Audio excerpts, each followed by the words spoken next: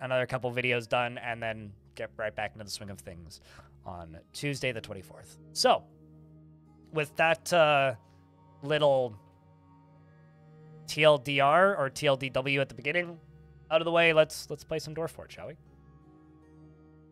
And um, the reason there was no records today is because I need to figure out Windows settings.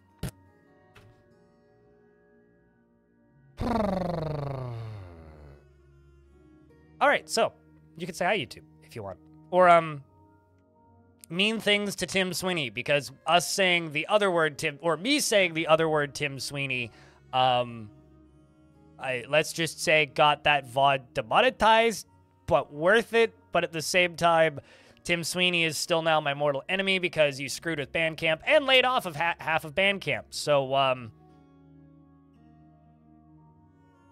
damn you, Tim Sweeney.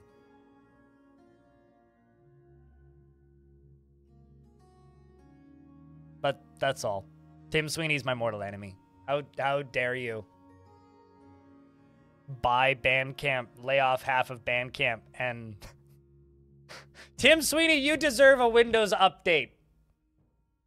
That's that's what I have to say to you, sir. um, I'm gonna turn saving back on because I had it off for recording last night. Um, all right.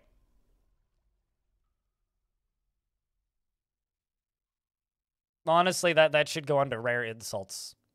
You know, just you you deserve a Windows update. You deserve to be updated my, by Microsoft, Tim Sweeney.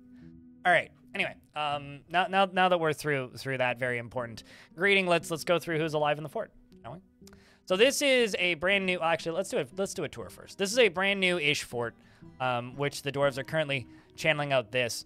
Um, as for the fort itself, it's a volcano fort in this kind of open plan design down here. Which is going to take a little bit of uh, construction to actually make like mostly functional.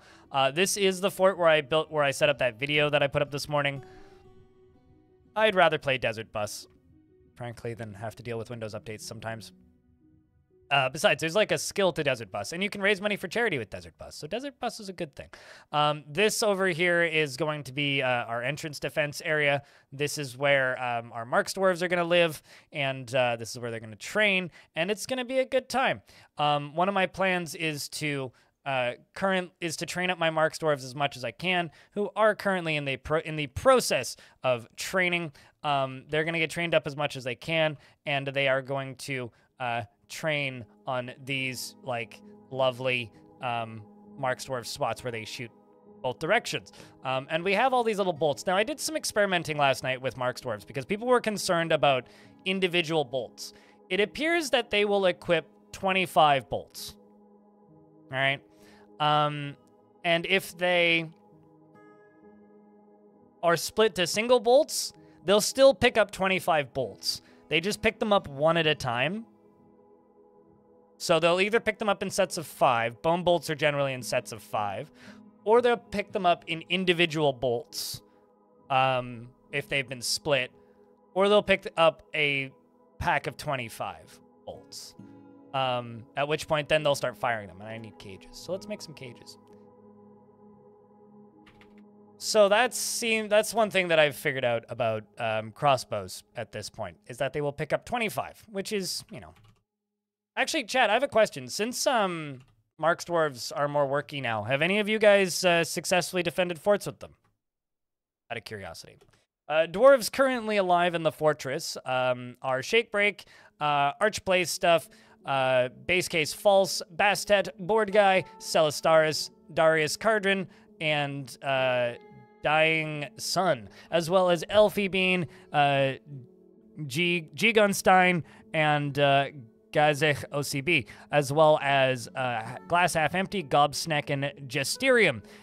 Kit Wanter and Lyagushka, as well as Mako and Matt Korax and Nihileth and Firehawk, QN Green Tea and Ranger Rick, Red Octobear and Rhina, Sentient Potato and Celebot, and Shady Stillanitis and Suited Giraffe, Talon Artho, Terminal Wetness, UGDPY, and Wiz the God.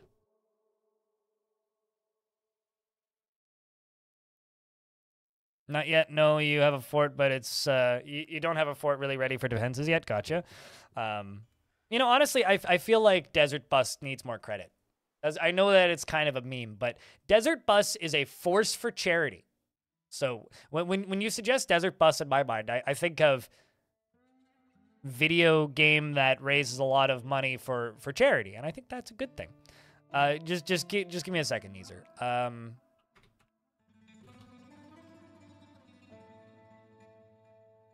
Hello, blind in chat. old guy in black, thank you very much for the ninth month. Appreciate you, dude. All right, uh, Neezer, you said you you would like a dwarfith. How about? No, not that one. You're that's stricken by melancholy. How about that's selfie bean? How about nope, that's firehawk. How about uh, this is a dwarf smelting magnetite ore.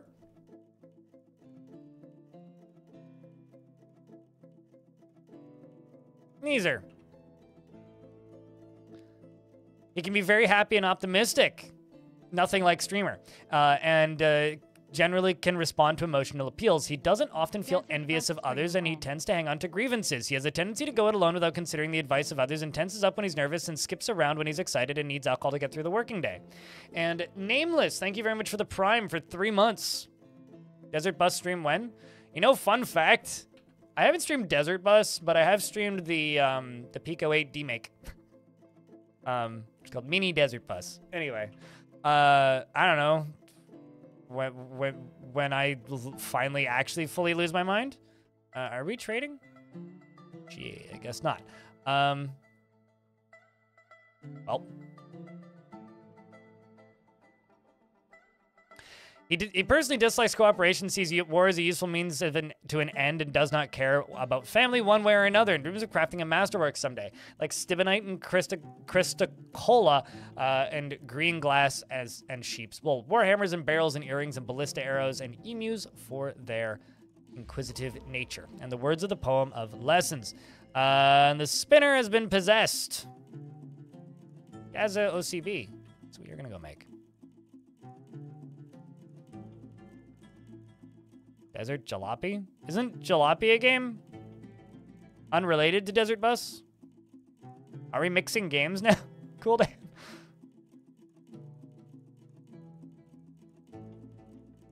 Is that what's happening? Because, like, we could do that once I beat Dwarf Fortress. I'm pretty sure I've won Dwarf Fortress already. Although I've never built Armok's altar or whatever with blood on it and put it in hell. I've never successfully done that, so. Oh. Dodok, being the rightful heir, has inherited the position of Baron of Overmaligned. Huh. All right. Well. Uh, you're making an artifact right now, is what you're doing. Good evening. Um,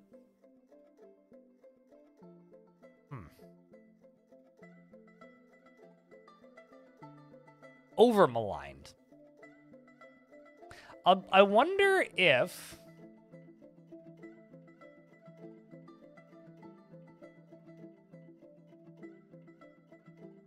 I'm wondering if over maligned is like a captured pit. Yeah, there it is. The Dark Dwarven Pits. So my faction just took over some pits. Interesting. Well, you're a weaver. So I, I'm not sure. That's interesting. News and rumors?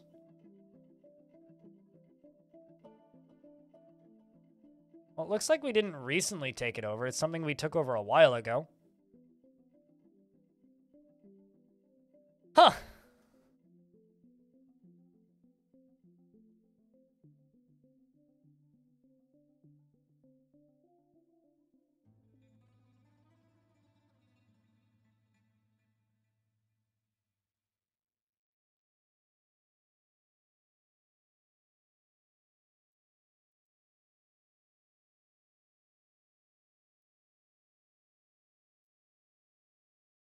On level 10, you have a 9 block with 3 hot stone and 6 gems. Is there something bad waiting in there? I can't guarantee it.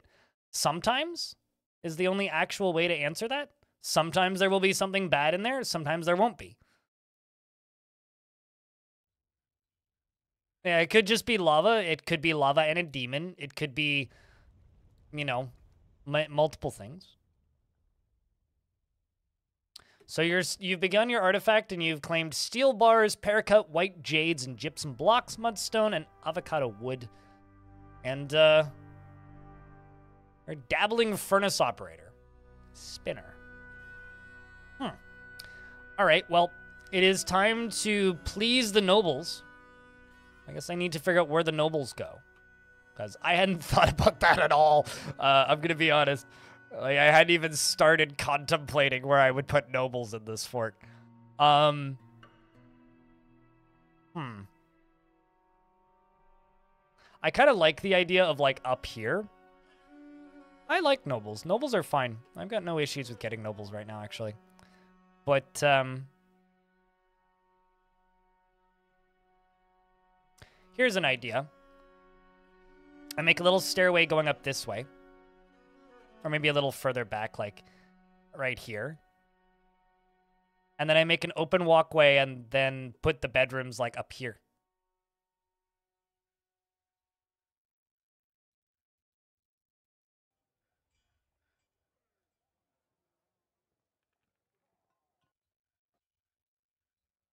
Why is your game so fast? Uh, you run at 50 FPS and it's much slower. Well, you just answered the question. My game's running at 100 FPS. Why does my game run so fast? Well, it's running at a higher frame rate than you.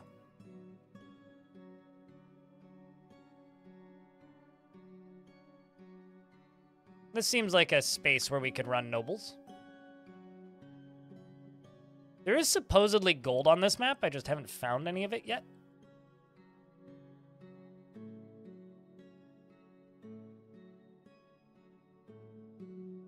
Now, if the question is, why am I running at a high frame rate? It's the frame rate that I'm used to.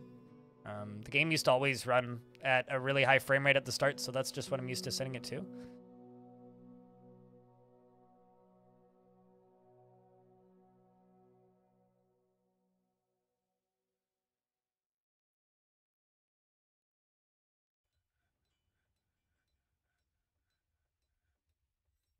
Open walkway with windows and railings? Well, right now the, the railing would be a wall. Can also go down here and we can fill this stuff in. We can get some more of these bedrooms set up. So like I said, this was the fort where I built that uh, fat burning contraption. However, uh, that's on a different timeline, so you guys, so it doesn't actually exist here. I'm not entirely certain I'm going to actually build it in this fort. I just wanted to make a video about it, to make a video about it, because it had been sitting in my brain for like a week, and I just wanted to do it uh, and get it done. Because I was like, I think that'll work, and it did, and I'm quite happy that it did. Um, and I'm, I'm quite flattered that people are uh, referring to me as borderline psychotic because I'll have you know I'm just norm I'm generally just psychotic, not borderline. There's no borderline there, so um, they, they, just to get that out of the way, so there's no confusion, But in my actual forts, I'm quite kind to my dwarves generally. oh well, that's interesting. We got a shoe. Uh, Geza OCB, uh, the spinner, has created Age Salkoskan, Emast Thilseg, uh, a steel high boot, and offers it to the ageless creation. Well, that's so kind of you. I will absolutely use that to make our noble happy. So that we can literally give the noble the boot. There's a joke in there somewhere. I'll, I'll figure it out eventually. Um, this is a steel high boot. Our craftsdwarfship is of the highest quality. It is decorated with avocado wood and encircled with bands of cushioned mudstone cabochons and menaces with spikes of steel. On the item is an image of radiant cut gem in white jade. On the item is an image of a Cody man in gypsum. Can we fill it with beer? God, I wish. I think I could probably contaminate it with beer with severe duress, but...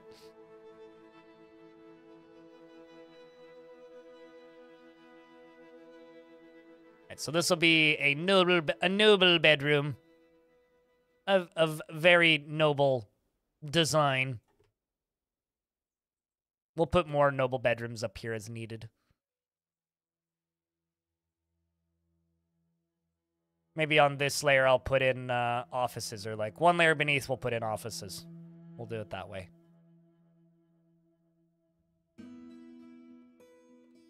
So chat room, how was your weekend? You guys do anything fun? Play any fun video games? See any exciting sights? Go to any fun shows? Did you eat a particularly good meal? Did you play a video game called Dwarf Fortress? Because if you have, like, I certainly didn't. Bioshock and about to start Bioshock 2. Damn! Bioshock and Bioshock 2. Oh no, Edzul was found dead. Anyway, uh, Edzul um, was a very sad dwarf who failed an artifact because I didn't notice. Um, so it's my fault entirely. But uh, since the dwarf is no longer with us, is what it is. Goodbye, dwarf.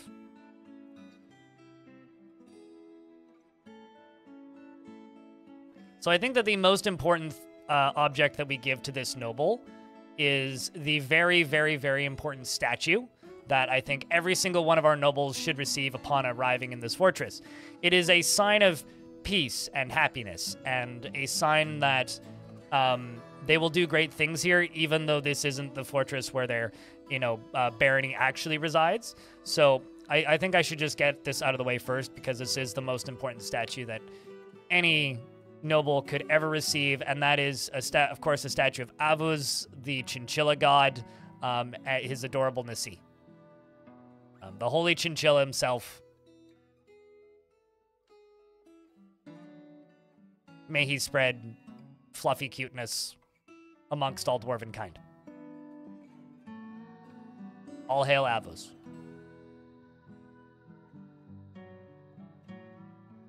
Does the Baron worship the chinchilla god? That's not a concern of us or the Baron. It is simply a welcoming gift of peace that you will receive upon arriving in this fortress.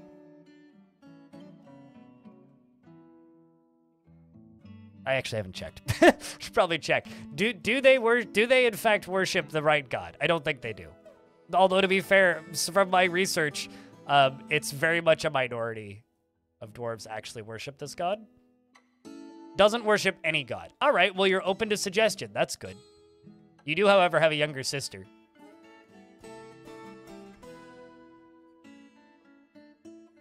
So they're uh, a former member of the nomadic group, the Spry Channel. Well, that's interesting. And you're now a, a baron, of course. He doesn't feel anything due to inebriation. What a boring soul. Wow. Doesn't even he doesn't even have a bedroom yet. Poor dwarf. Alright, so this is just going to be this. And this right here is going to be assigned to our baron. I don't even have a mayor yet. Wait, no, I do have a mayor. I did, I okay, I just got a mayor. I guess we'll put the mayor's bedroom right next to the baron's bedroom. Might as well do both of these at the same time.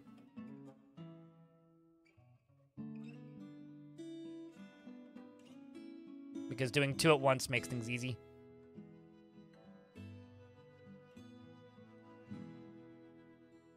Because apparently I do have a mayor. And our mayor is the suited giraffe. Well, would you look at that? Mayor's suited giraffe. There you are. Um, I need to figure out where your bedroom is so I can give it to somebody else. Here, um, some random peasant can have your bedroom, Mayor. It's okay. You'll thank me later.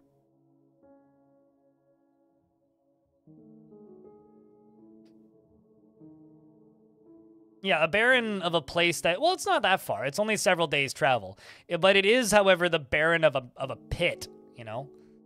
Um, let's do steel cabinet and steel coffer. No, steel chest, and we'll do four of each. Um,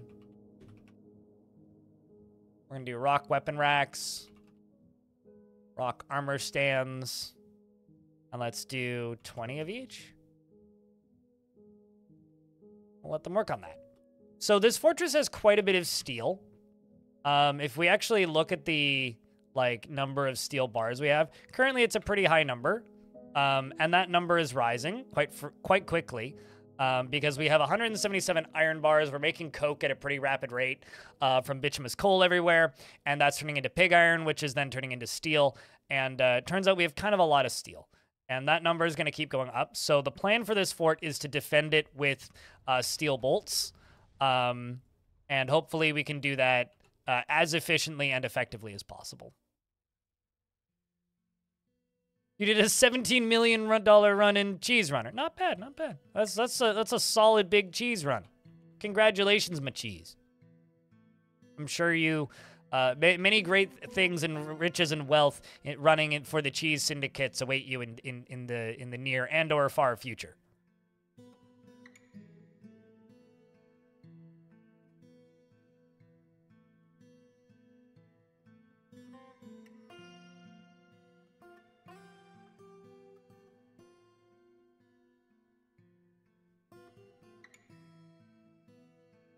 I wonder if if we make some art of the pit, we can find the conquer date. Oh, true.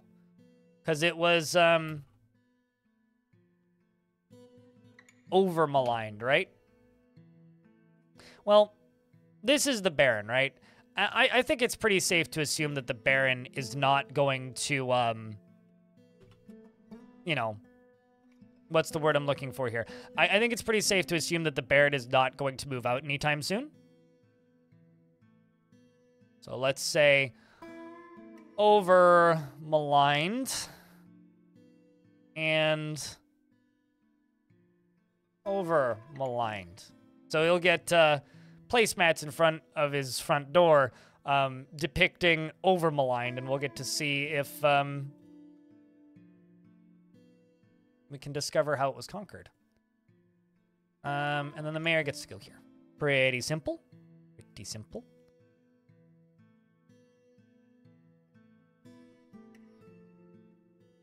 Let's see what art we get. Once these two dwarves are done drawing.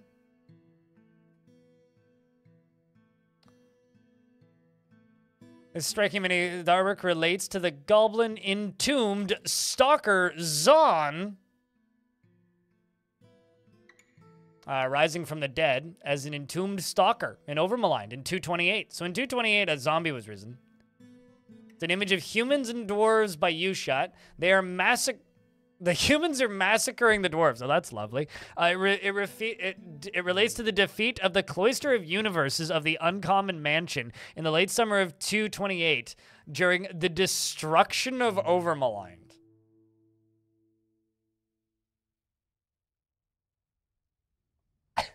hmm.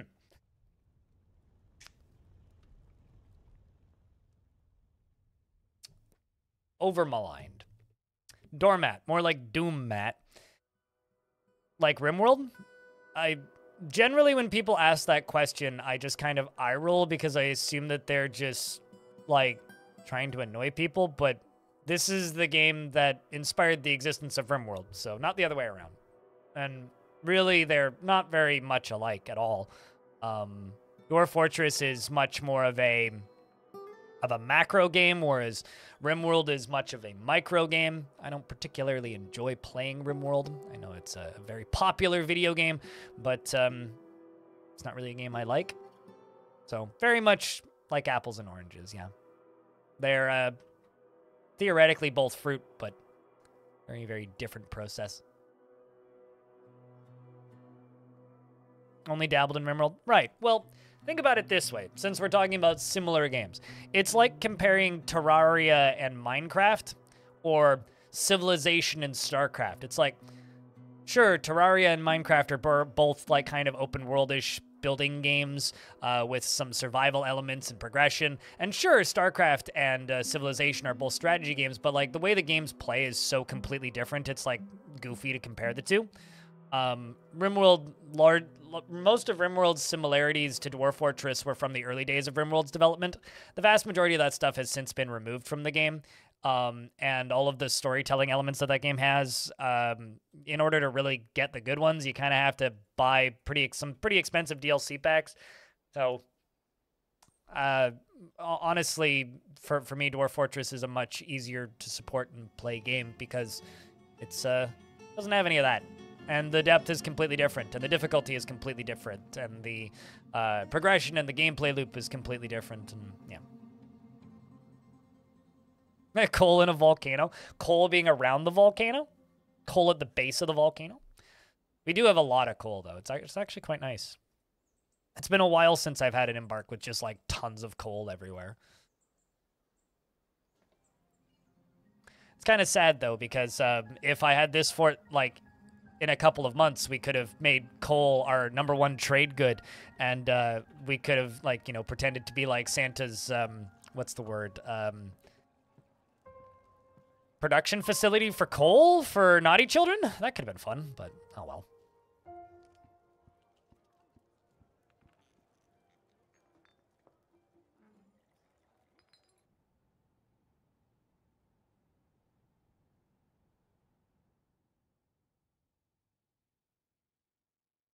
No, they aren't. They're but they're both strategy games, right?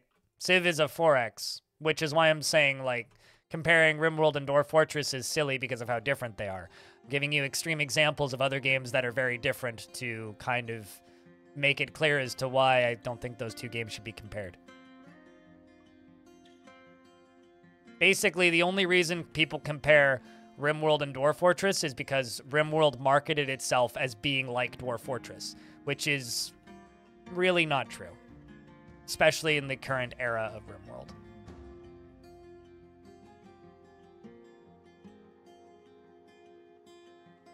Where does Santa get the coal in the first place? China, probably. probably just buys it like bulk, you know. just goes and buys a couple warehouses around, you know, around mid, late November, I would guess gets a large shipment sent to the North Pole, loads it up into bags, individual gift baggies, and all that. You know, then just does the distributing. I mean, it's it's all a manage matter of supply and demand. The worse the world is being at the time, the more coal he needs. It's great business, I would assume.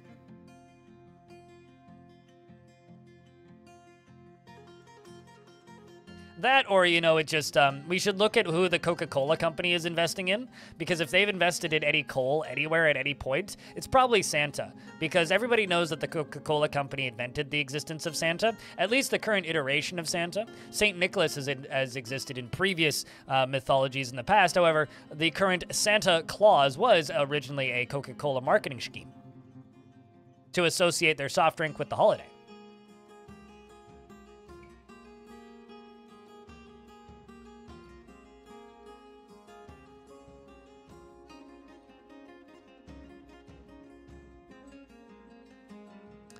So this is going to be Mayor's space right here, and this is going to be Baron's.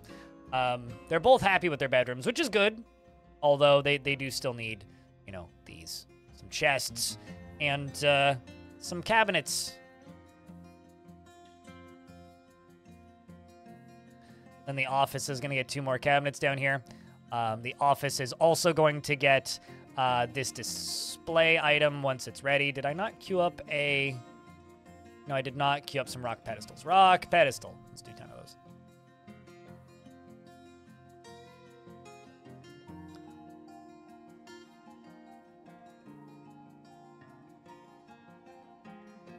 Coal production is a bad thing, so you simply heavily uh, correlated with the demand. Meanwhile, you know, people who really need coal are generally bad people, so they're actually quite happy when they receive their naughty list gifts. Or you, they just happen to live somewhere in the world where, you know, you need coal for heat. And then that just sucks. You know, it, it's funny when growing up, because like my, my family's pretty European, right? Growing up, um, we used to have two days of gifts uh, around the holiday of Christmas, right? We would have St. Nick's Day, which was around halfway through December, and then we would have Christmas, And uh, so, on average, compared to like other kids our age, we got way less gifts. But that is because, um, like, from Santa Claus, air quotes. But that's because, like, the majority of them were actually on St. Nick's Day. So we basically didn't do like what a lot of Canadian families do for like stocking stuffers and such. Didn't do any of that because that was all done the week before, um, which was a pretty fun way of doing it, actually. We quite liked it.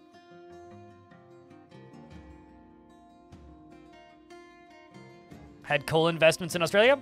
That's where Santa gets his coal from. Okay, so uh, chat, I, I, I'm ready right now for the like three hour long uh, video essay on where Santa Claus theoretically gets his coal from. Folding ideas, I've got a holiday pitch for you. I'm just, I'm just, I want to know where Santa Claus gets his coal from. Isn't St. Nick the OG Santa? Pre marketing, technically.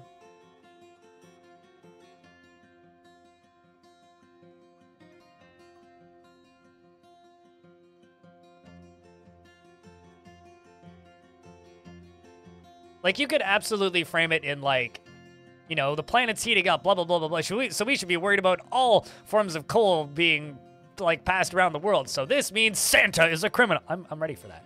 I will uh, absolutely watch a video about Santa's illegal uh, coal shipments.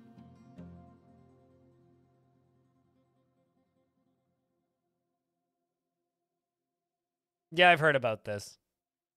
I mean, I know that that's come up before, uh, Shandara Siva. It's fun news to read, you know? All right. Um, how are we doing up here? What does the mayor need? Oh, right, yeah, mayor. Mayor also needs weapon racks for some reason. Whoa, whoa, whoa, whoa, whoa, whoa, whoa! I'm getting notices of something. Hold on, let me just add these in for the mayor. What are those? Snatchers protect the children's. Really, for real?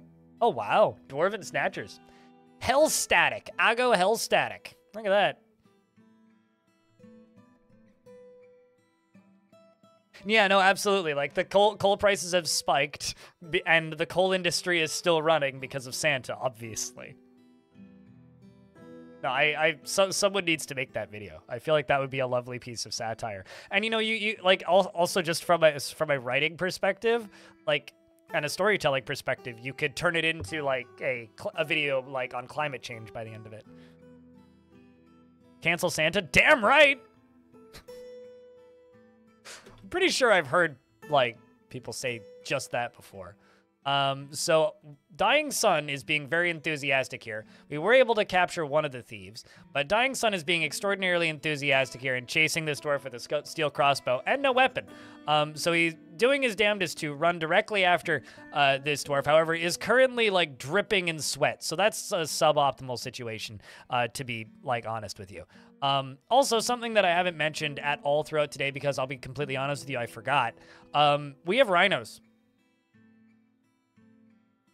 So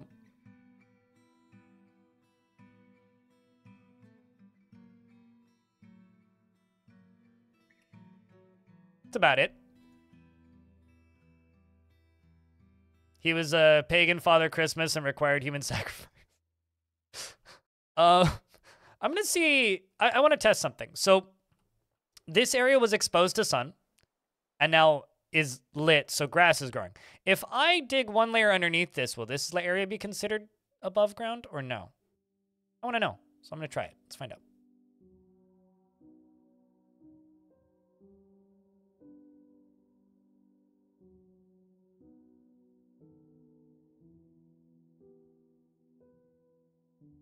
Because I don't actually know. But if it does, that could actually be quite useful.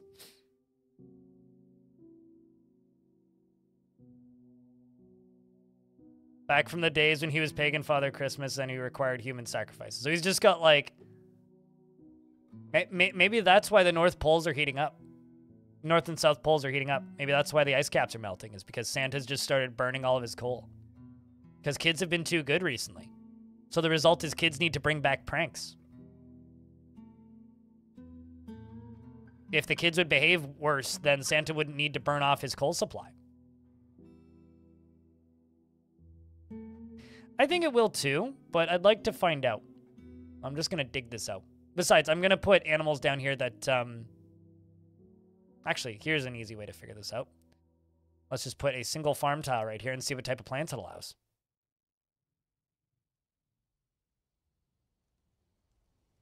I'm getting a phone call from FedEx. Two seconds.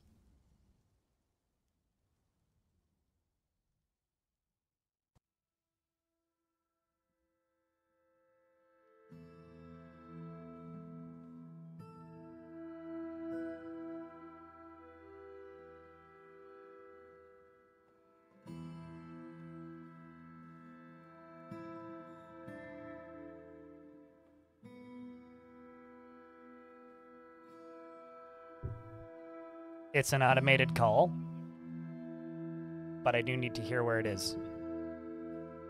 I'm ready. I'm ready.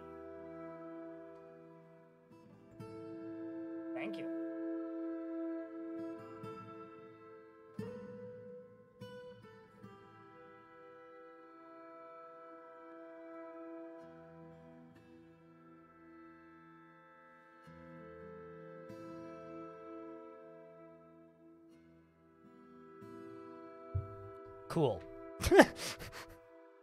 I love it when they're just like, this is an automated phone call. It's like, why couldn't I just speak with the person? Uh, dwarves have arrived to trade. Well, that's lovely. So yeah, it is considered underground. So that's that experiment. Well, that's not too hard to fix. I can just kind of channel through this. And then that should consider it above ground. For like a strip up here, because that's all I really need.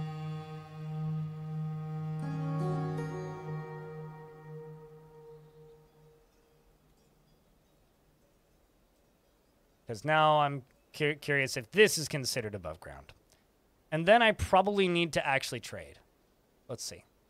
Is this considered above ground now? Also, I feel like Dwarf Fortress is kind of quiet. We fix this.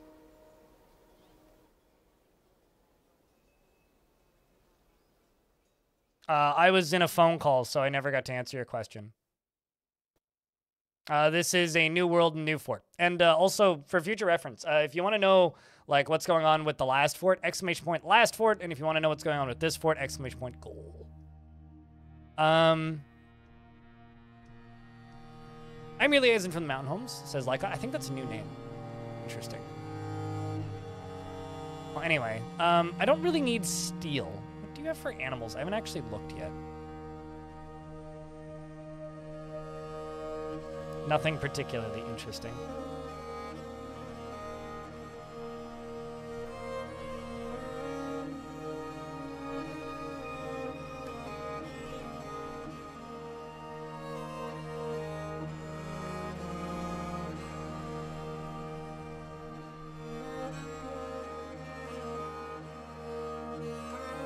For automated calls, press 1 to press 9 to cancel is better than say, I agree. No, it, it literally just says, say, I'm ready.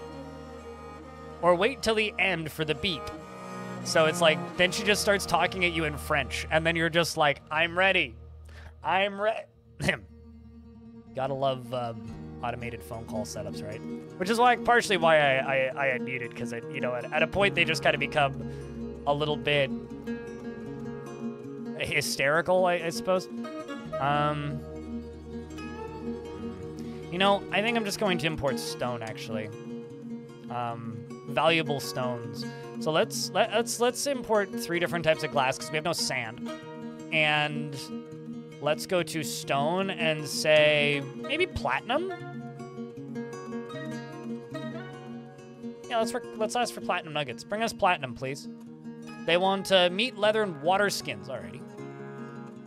Now, I still don't really have anything to trade. Um, don't really have much in the way of damaged clothing. I, I guess I have some, some, some stuff. Um, I, I, guess I could bring these nest boxes. I, I, don't actually need those. Um, we got some bags, I suppose. Apparently I caught a chimpanzee. And a black mamba? And an armadillo? Huh.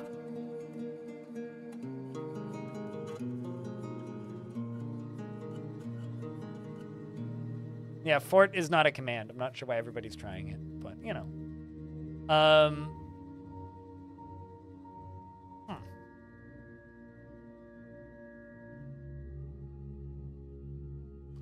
I kind of want to train the Black Mamba.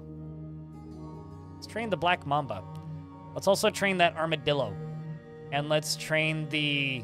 Wow, we got a bunch of chimps. Train the monkeys. Planet of the Dwarfs.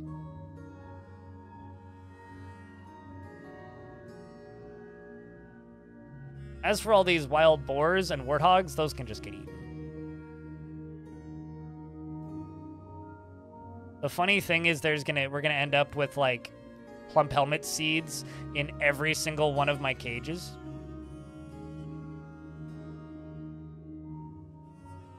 Which is gonna be kind of amazing. Oh yeah. What what's the problem with that though? Permanent just means they can only happen once. That's fine. And also, it's just a black mamba. It's not like it's a giant black mamba. I don't see a problem with this. Also, did I not make a weaver? I did. Well, I guess they're not weaving fast enough. Weave faster! I'm sure it'll make a lovely addition to the children's petting zoo.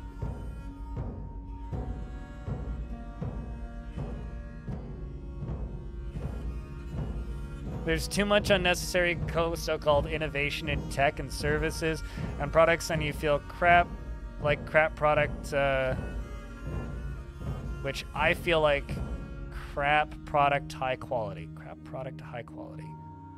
Um, not sure what you mean exactly. Also, chat room. So, sort of news. I uh, tonight have a package to go pick up, which is what that phone call was about. So I have to end the stream at uh, 5:50 today, or 5:45, I guess, so I can go pick up that package um, because it's something that I actually need for TwitchCon. Um, it's likely it's something I need for TwitchCon? Question mark. Um, so either I can take a long break at 5:50, or I can end at five, or at 5:45, 5:30. So I'm not sure. Um, we'll we'll see. It. We'll play it by ear when I get there. Um, by the time we get there, I may just be like, all right, guys, we're done. I'm to just go, you know, collect my package and move on with my day. Uh, but I might not be in that kind of mood. We'll, we'll see. Um, so tonight's either going to end with, um, not a sudden end, that's the wrong word to use. Today's stream's either going to end uh, around then or have a long break at some point. Depends on how we're feeling and how things are going around that time of day. So just thought I'd keep you guys up to date with where my brain's at in that regard. How's that sound to you, chat room? Sounds horrible, that's that's fine. We'll work through it. One at a time. we'll just trade. I actually feel like min-maxing my trading.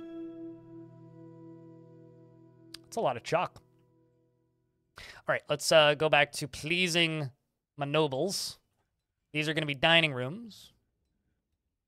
You can do multi-dining rooms. Uh, you over here, you can be this person. You right here, you can be uh, this person. We're making progress. Uh, you want us to make maces. All right. Actually, let's just make steel maces. Three of them. All right. Now that we've done that, you can go into here, and we're going to give them the boot.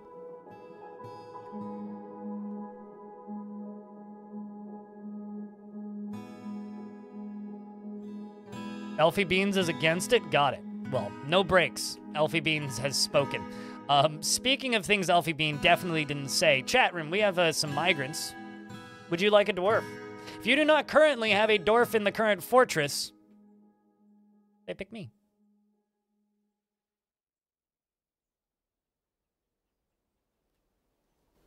Baka, Uh, feels helping others is an imposition on his time and lives a slow going and leisurely pace. Is very impolite and inconsiderate of property and has a strong sense of duty. Is somewhat scatterbrained and he tends to be passive in discussions. He tends to consider what other what others think of him and is quick to anger. I don't think that was true. Uh, he likes to try to get things done per, uh, perfectly, or he doesn't try to get things done perfectly, and he enjoys the company of others and can handle stress and isn't particularly ambitious and needs alcohol to get through the working day.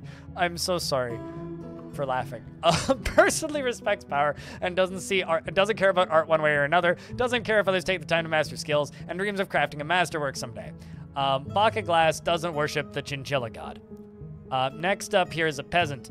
Um, this peasant is uh, Salty Tempest.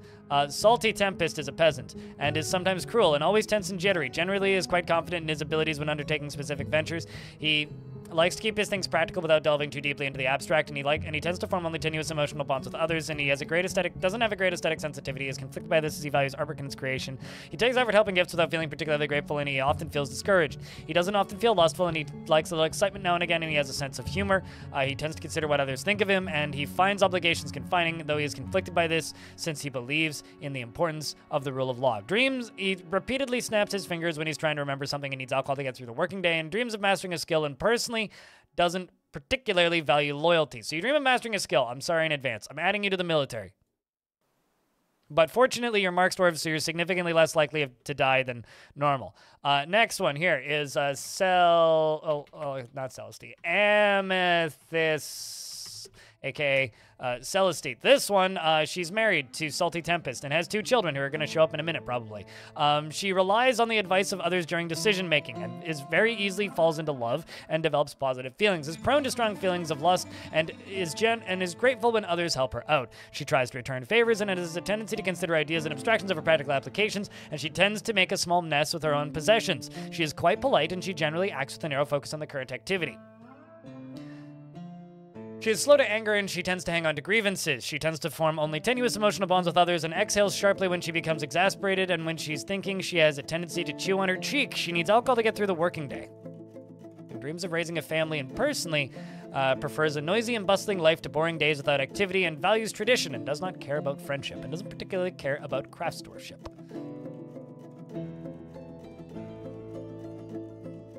Sounds like more children on the way? Possibly. Anyway, uh, the rest of you get to be Celestine's kids. Um, so, GFin, GGFN, uh, is extremely confident in herself in situations requiring her skills, is really is rarely jealous, and rarely tries to assert herself in the conversation. She is moved by art and natural beauty, though she is conflicted by this for more than one reason. She tries to keep her things orderly, and she likes to and she likes to keep things practical without delving too deeply into the abstract. She isn't particularly curious about the world and enjoys the company of others, and isn't is often cheerful and takes offered help and gifts without feeling particularly grateful, and tenses up when she's nervous, and she bites her nails when she's nervous. She needs alcohol to get through the working day, and dreams of raising a family, and personally strongly values tranquility and quiet, and finds artwork boring. She's 11. And she doesn't worship any gods. Lanix would like you to post beers, chat room. Next up, we have, uh... Frack... The... Fractabellum. Uh, she is eight years old and uh, does not have a great aesthetic sensitivity, and she is uh, conflicted by this since she values artwork and its creation. She is often she is somewhat fearful in the face of imminent danger, and she's quite polite. Uh, she has little interest in joking around, and she can handle stress. She prefers that everyone live as harmoniously as possible, and she doesn't seek out excitement. It's alcohol to get through the working day. Uh, next here we have Linkman. You guys spelled that right? It's two N's? M? Yes, it is. Uh, Linkman says, I am at my best under pressure, and his adequate armor smith will need you. He's often sad and dejected, and he has a calm demeanor. He tries to consider what he tries to consider what others think of him, and he enjoys the company of others, and he doesn't often feel envious of others and can handle stress. He blows out his breath when he's annoyed, and he needs alcohol to get through the working day. He personally deeply respects skill at arms and values family and sees introspection as important and finds eloquence and artful speech off putting, and dreams of creating a great work of art. Uh, and he also doesn't worship the chinchilla and has no family. Well, this fortress will probably last long enough for you to do something co cool unless something horrible happens in the next 10 minutes. Don't worry, Alfie. Don't worry. Uh, next up is Attacking Sharks, who actually died previously, so this is Attacking Sharks 2. Because I and I remember that because I mentioned that Attacking Sharks have died. I said that the other day, and chat was like, we were getting attacked by sharks, and I was like, no, we're not getting attacked by sharks, but attacking sharks died. Anyways, context. Uh, he is prone to feelings of jealousy, mostly about the fact that the other dwarf like was here previously, so it's now the second one. Uh, he's a strong, he has a strong sense of duty, and he's he has a greedy streak, and he occasionally overindulges. He has a tendency to consider ideas and abstractions over practical applications, and does not have great aesthetic sensitivity. He's conflicted by this he values artwork and its creation. He lives a fast-paced life and is not particularly interested in what others think of him, and he needs alcohol to get through the working day. And dreams of crafting a masterwork someday, and personally finds the following of tradition foolish and limiting, and doesn't respect a society that is settled into harmony without debate and strife, and values peace over war. And I think that that is everything. And uh, I think that's it for naming for right now. So we'll let some other dwarves just run in. We'll name some other dwarves later. Did you have two lovers? Excuse me. Lady, come here. You have two children and two lovers. Hmm. Well, looks like her, her kid's the first one to come in right after. Um, seems like neither of the lovers are here. Well, Armok, save us. 85. So, by the way, the population is set to 300. I haven't capped it. Um, so the population is pretty high like pretty goddamn high. Um, do I have hatch covers? Yes, I do. So the next thing that I want to do is this right here. We're going to go to my my squatties, and I'm going to set them to do nothing special. Turn off their orders. And I'm going to queue up steel bolts.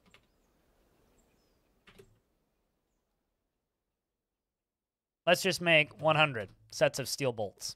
They're all going to go right here. Also, um, let's get all these boulders out of here. So let's go here, grab these, go down to here, and uh, make this into a trash zone.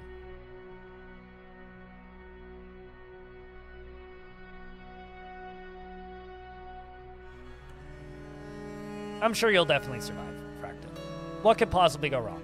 Were creatures, zombies, nightmares, various monsters from the deep. I'm sure nothing will possibly go wrong. So what we're going to do is I'm going to uh, make some of these bolts. They're going to get transported up here, and I'm going to forbid them. They're going to remain forbidden until the next fight, basically. So they are only going to be loadable by my squads during fights. Is how we're going to do this. Let's also set up a few bedrooms, and then we need to do offices for my mayor and my baron.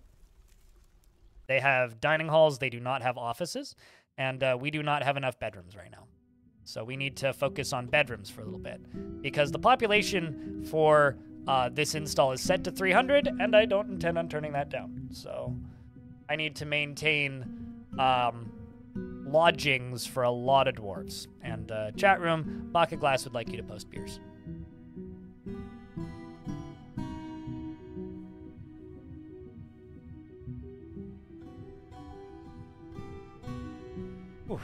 You know, some days I impress myself that I managed to turn my stream on to stream. Today is one of those days. I am genuinely impressed by myself. Do you ever just, like, impress yourself? You're like, man, I didn't think I'd be able to do this today.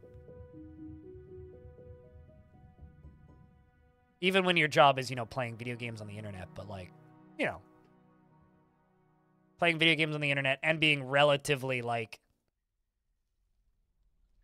composed about it. Legends of Amberland.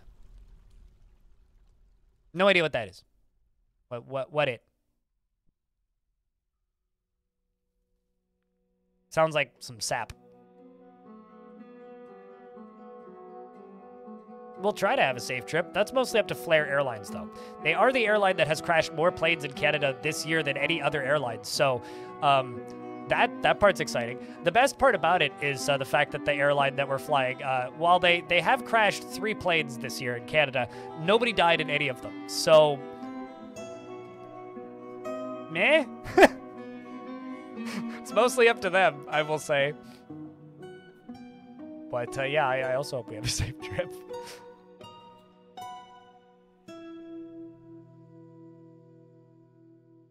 Although, fortunately, we're not flying in Canada. We're flying out of Canada, so. I say we. Me and Orange are taking the same flight down.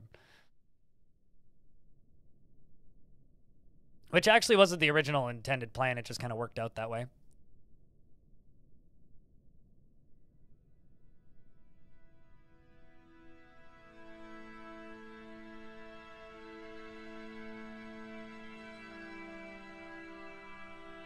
For your family to have a two bedroom suite to share? Mm. Currently, I don't have enough suites for all of my dwarves. So why, why do you guys get priority? I mean, like, these are all of the dwar- all of the dwarves that do not have anything beneath their name, don't even have a bedroom right now. And you're concerned that you have to share uh, a, a suite with all of your children and you all sleep once every three weeks?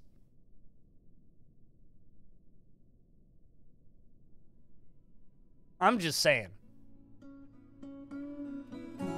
I, I, think that's maybe a little bit of a silly request in a world where dwarves don't all sleep at the same time and uh, they don't sleep every night. In fact, they don't sleep most days. They don't sleep most weeks. I mean, yes, you do have a rather large family, but like, you know, I've seen dwarves with families of 14 pretty comfortably share a single bed bedroom.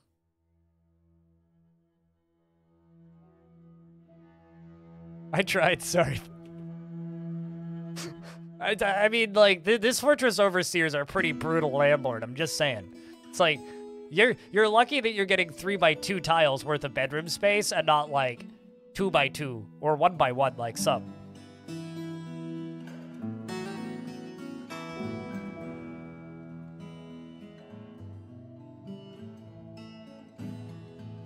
I mean, I, I don't know. I usually end up giving all the kids bedrooms separately, so that'll probably happen eventually. But, um, because kids don't claim bedrooms until they turn 18 in Dwarfort. But you can assign, like, babies their own bedrooms if you want. Although they'll still sleep with mom until they're old enough. Although, fun fact, if you assign a baby a bedroom before they're an adult, um, they get kind of upset that they're not sleeping in their own bedroom, which I think is kind of funny. It's like suddenly a new need just pops up in their head, and then when they go crash with mom because mom carries them to bed, uh, they get mildly upset.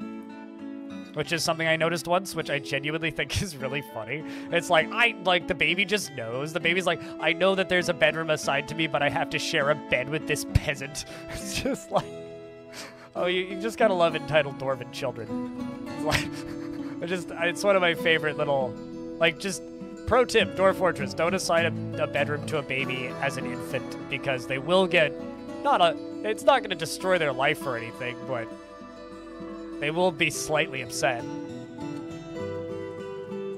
I think it's like annoyed is the term that it gets. I don't have object permanence yet, and I don't know what a person is, but... Damn it, I, I, I have this housing, I've earned this housing. This is my dwarven right living here. I deserve my own bed. It's simple existence logic. Which is a term I made up two seconds ago. Um, all right, so scrolling up to here, we've got we got you and you. Um, they both just need offices. So we're gonna put the offices down here. I'm gonna do the offices slightly differently. Offices are going to get either balconies or windows.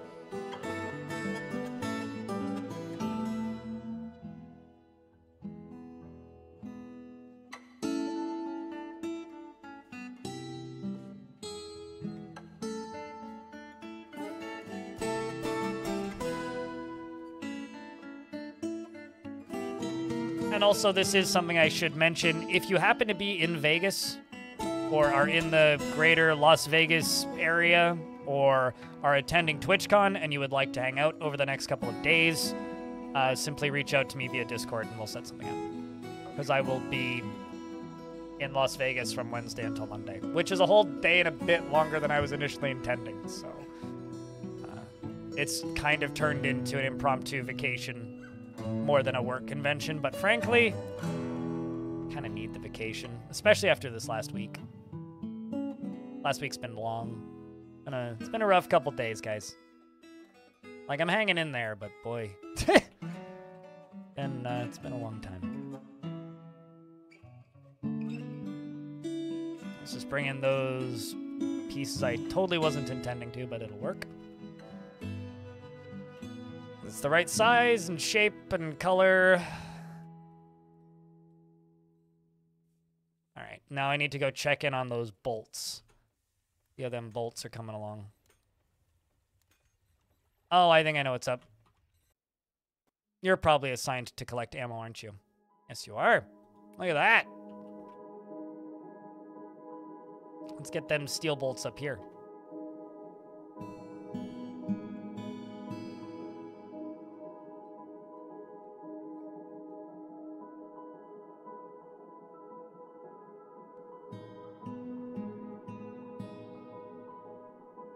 Say, what are you hauling? But literally nothing. You're going to archery practice. Ah, and you have steel bolts. Got it. Well, I don't really want you going to archery practice. Is what I would like you to do. So let's just set you to off duty currently. Not that that's stopping you clearly.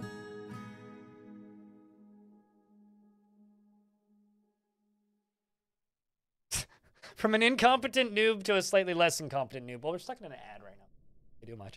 Um, no problem. I mean, I'm still an incompetent noob in many ways. You know, like um, I, there there was somebody earlier in chat asking me um.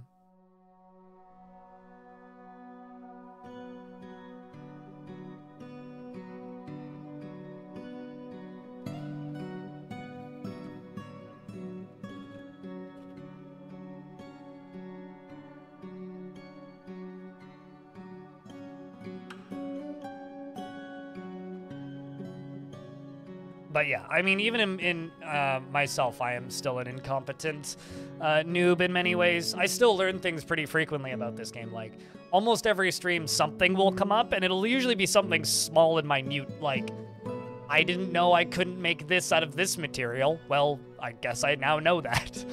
um, so, you know, you, you you you learn things now and again. And i think it's part of the fun and allure of dwarf fortress to a degree is that you're always learning things. You headed out for the day kind of tank we'll see you when we see you dude.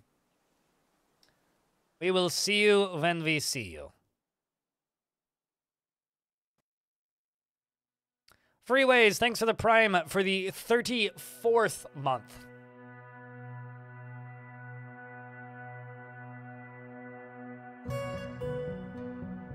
Appreciate you, dude.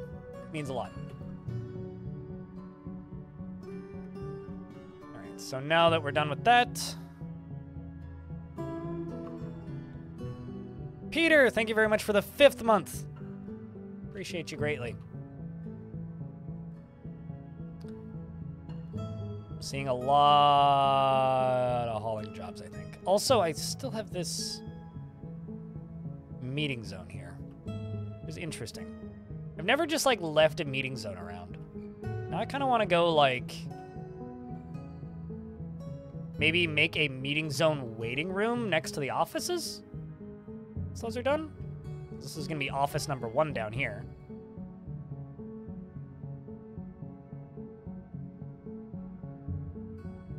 And then office number two can go right here.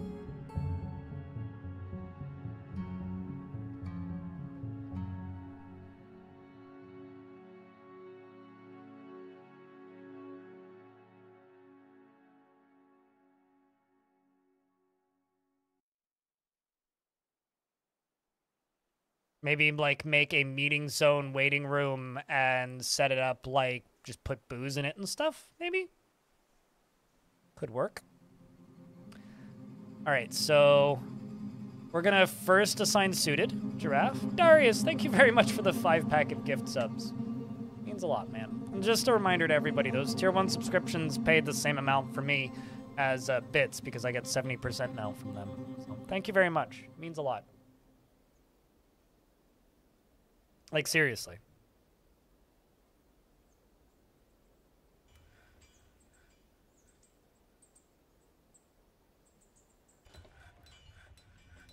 I thought about um, making a like subscriber point goal for a new emote, but when I actually looked at it and looked how many subscriber points it would take, it just kind of felt bad making a like goal that was so lofty, so I just kind of didn't.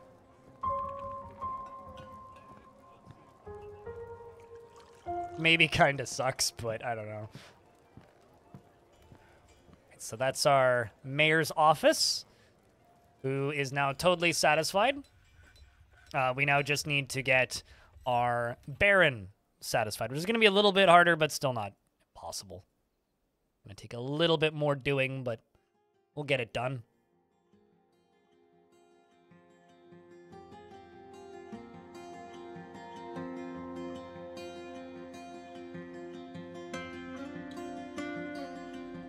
Chad, do you have any particularly memorable no nobles? Maybe like a noble that was annoying or entertaining for some reason? I uh, had a mayor who just demanded I make socks like 15 times a year, so we put pedestals in his in his bedroom and just covered them in socks. So basically, the dude slept next to a pile of like 500 old pairs of socks. It's a good time. Mechanically, yeah. It's very, very, very, very, very similar. I mean, every major version, Polo, of Dwarf Fortress has some changes.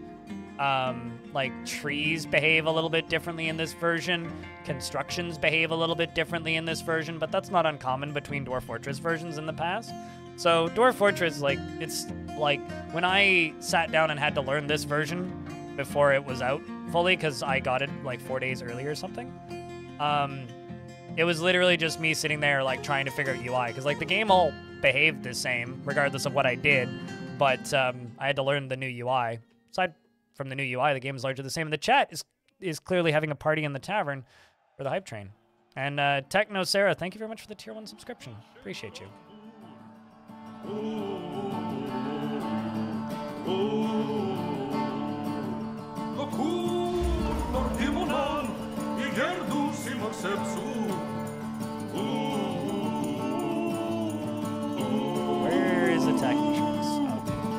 That later.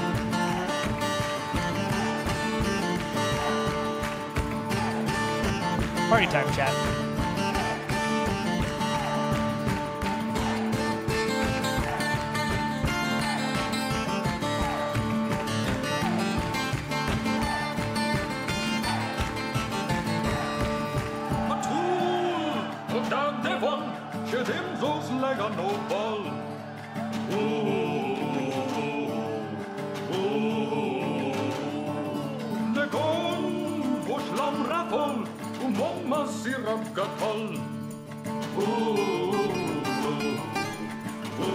Most memorable king for you came immediately and asked for traction benches. You set him on a go- you sent him on a goblin destruction mission, then he didn't come back. I'm sure. I'm, I'm assuming he al- he arrived live and well, and they probably welcomed him in with open arms. Um, in your current fortress, you have a count who consistently forbids the trade of traction benches.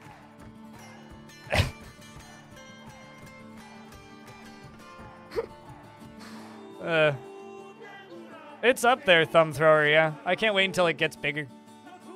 That is a lot of seeds. I need more bags. I heard I was called upon. Um, Alexandra from Kitfox wants to speak with you. Uh, so you can DM her, or um, she'll DM you. But thanks for the 14th month. Appreciate you, man. Are you in trouble? No. I mean, yes. I mean, duh. When are we not?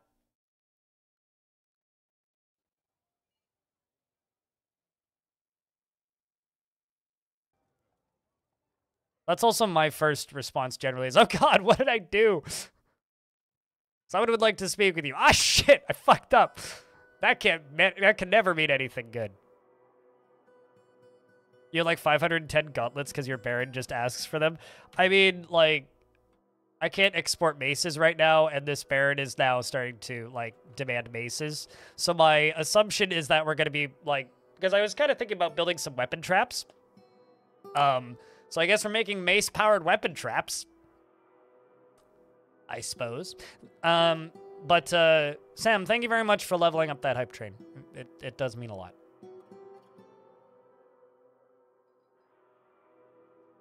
And for those of you who don't know, uh, was one of the first people to send in a fortress for the community forts. And um, that, or one of the first fortresses, actually, I think one of the most viewed community forts ever, is now, uh, is this, which is on the Steam page, which is kind of cool. Kind of cool. Yeah, also, did, did you know that Steel Walls is the most viewed community fort? It's got almost 40,000 views, mate. Which is kind of nuts.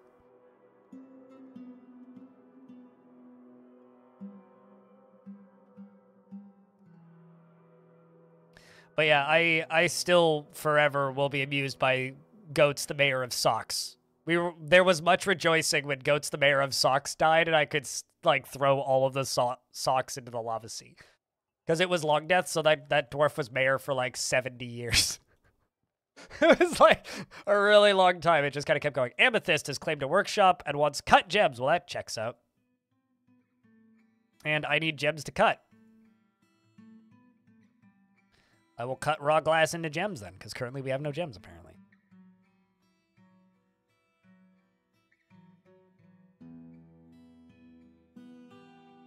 Let's see, is that all that you wanted?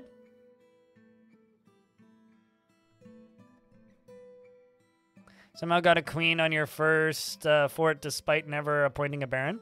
Uh, if a rel if their relative dies, they can uh, they can inherit the position. You want stacked cloth? Okay. What else do you need? A quarry? Okay.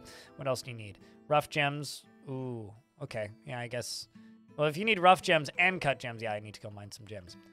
Um, all right, time to go eyeball some gems. Where are gems? Chat, I need gems. Chat, yell if you see gems. I need gems. Um, they are truly outrageous, but we do in fact need gems.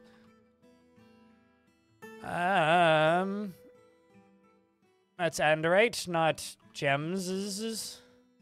We require gems. Where are the gems? Gems? Gems! Jemmy, jammy, jammy, jammy, Gem, Gems.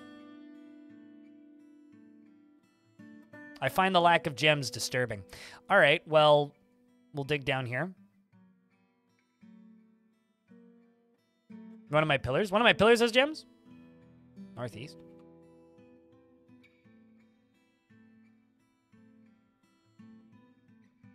Well, that's alabaster.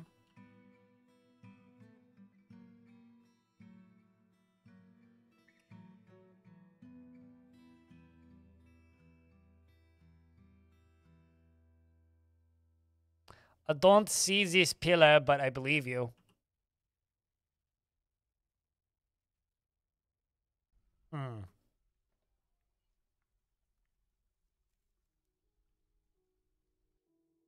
Yep, I also don't, I definitely don't see this pillar.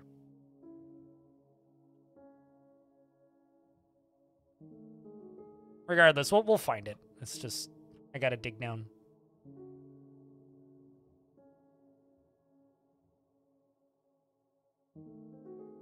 Maybe you saw something wrong? Yeah, that's true.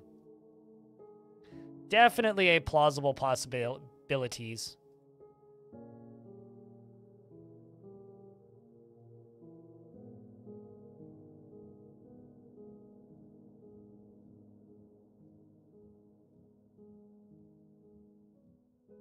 Let's go down by one here.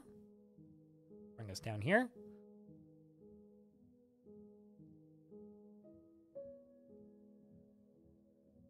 Let's hope we find some gems in here.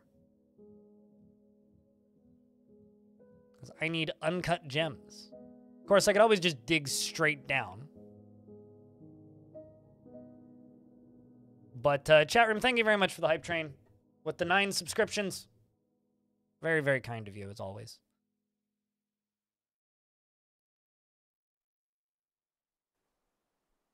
Right, no gems. I mean, worst case scenario, we can just start digging down. Also, I forgot to mention, chat, there's a giant lake here.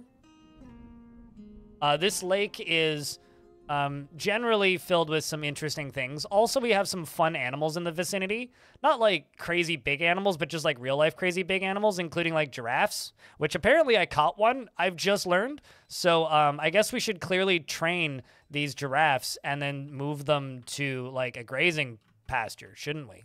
I mean, who doesn't want pet giraffes? I can tell you right now, I do.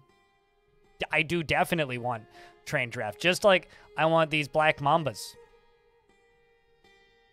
and chimpanzees. I apparently have a stray black mamba. Giraffes are deadly. Have any of you guys seen that video of the giraffe that's like trying to eat the lady's like food and she like closes her like car window on the giraffe's head and the giraffe just breaks his head out the side of the car and rips the door off? You guys seen that video? Because that shout out. Okay, so shout outs to Lolar, the 11 year old child for leading the Black Mamba to where it needs to be.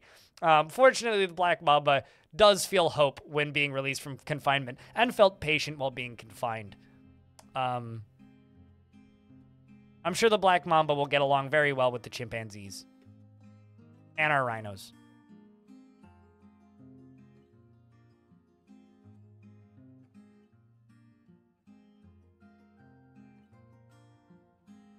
Maybe they can be trained into pets.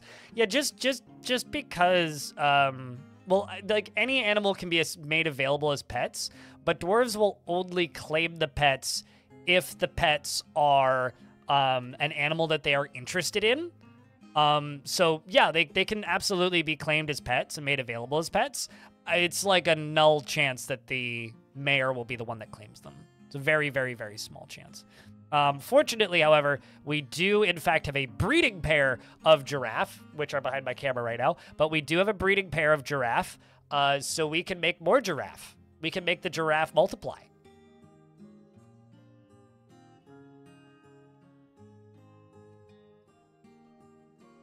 They can use their heads as a mace. Ah. Well, that I'm sure is fine. I don't know how to respond to that. It's like they can use their heads as a mace. It's like, yeah, I believe it. What the fuck is going on? They're terrified while it's in conflict. Ah, a chimpanzee decided to stop being trained. Well, that's unfortunate. Let's beat the ever living shit out of it. Turns out the black mamba's trying to bite him. Get him, boy! Get him! Oh, he's bit him many times, but hasn't actually injected any venom.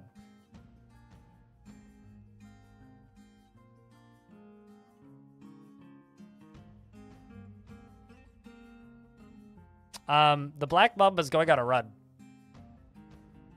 The animals are all running around like crazy. My military is running up to go beat the crap out of the monkey. Uh, the monkey has been beaten pretty effectively, I would say, uh, and is now bleeding profusely. Um, the monkey is now dead. So this is fine. Um, however, that could have gone a lot better. Uh, I think I think we need to focus on getting the uh, the black mamba tied up again, right? Right? It's okay. The black mamba is still just semi-wild.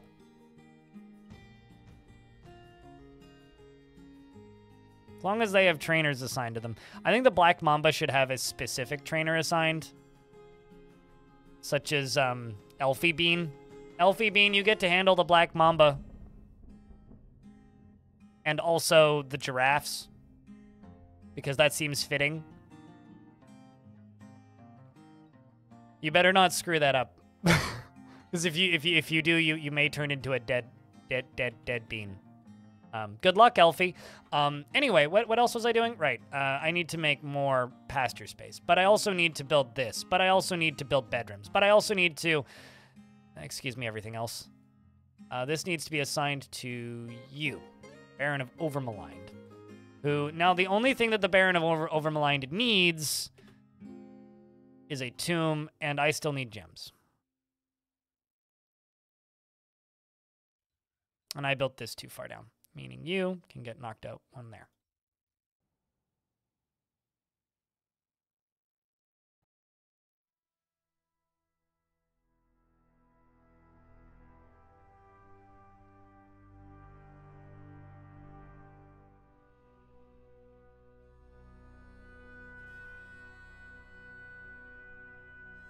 What am I doing with mine carts? I'm assuming you meant blind and not bling. Um, what am I doing with the mine carts? Transporting boulders, mostly. Mostly.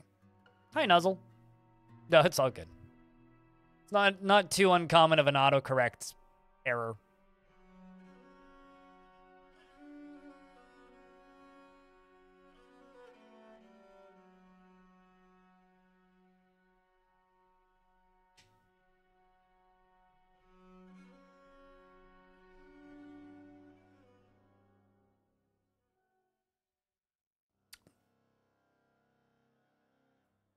Yeah, I mean, it's only a matter of time before people start referring to me as Bing. So I haven't unpaused the game yet. The enemy have come and are laying siege to the fortress. This is a um, undead character wielding copper gear, uh, which isn't fun, but not the worst. And they appear to have immediately left. There is an armadillo here, so that we, we know that our spy armadillo cameras are in full working order. However, um, that is slightly terrifying. I'm assuming a bunch of necromancers are going to appear in a moment, and uh, that'll be the end of it. But it's hard to say, really.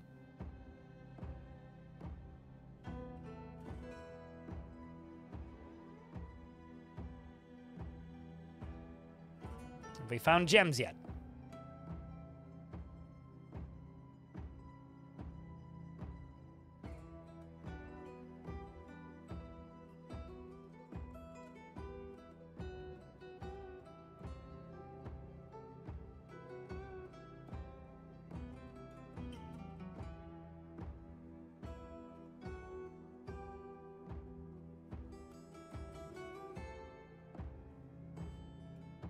Just noped out. Sometimes enemies will do that. But it is kind of hard to pinpoint exactly why they've done that. But yes, sometimes enemies do that. Well, I'm actually going to go up one here. This is going to loop back around to here. But, like I was saying earlier, we are in fact searching for gems, believe it or not. So, uh, we need to find that dwarf some gems. Otherwise, that dwarf's to show up dead, which I would rather not have happen. So, let's go find that dwarf some gems. So, I need to find a good place to dig downwards. Um, so, I think our location to dig downwards is going to be right here. I didn't. I don't really want to go down to the caverns. I'd rather not find the caverns if I can avoid it. But we need to dig down. We need to dig down for Amethyst the dwarf. So the things we do for our own. Get to it, Urist. Begin the digs.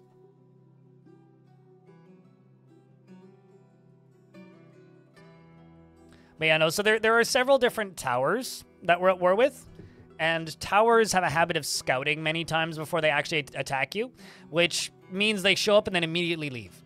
Um, and they tend to do that a bunch before they actually start attacking.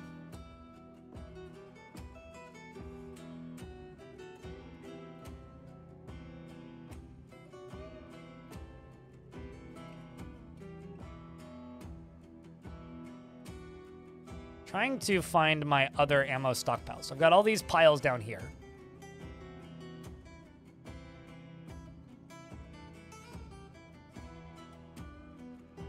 Got these guys standing up here.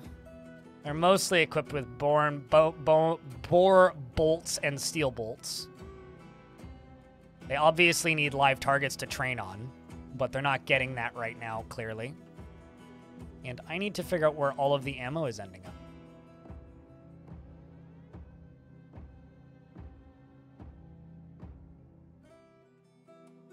Because I need all of the iron bolts, or steel bolts rather, to end up up here, but they're not ending up up here right now. How many have they made? Quite a lot. Quite a lot of steel bolts. Bins or not, there needs to be steel bolts up here.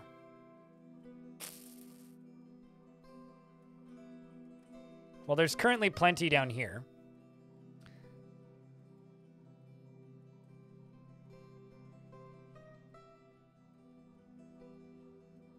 Hmm. But yeah, it's not too uncommon for zombies to just kind of leave immediately. It's not too uncommon. So I'm not too surprised to see them doing that. Oh, there we go. Well, that actually wasn't what I wanted to have happen, but. MLK, thank you very much for the sixth month. Welcome back. Chat, can I get a round of beers? Appreciate the the resub greatly. Means a lot. What have I done? Oh, that's what I've done wrong. Forgot to assign the quality levels. Let's forget about that.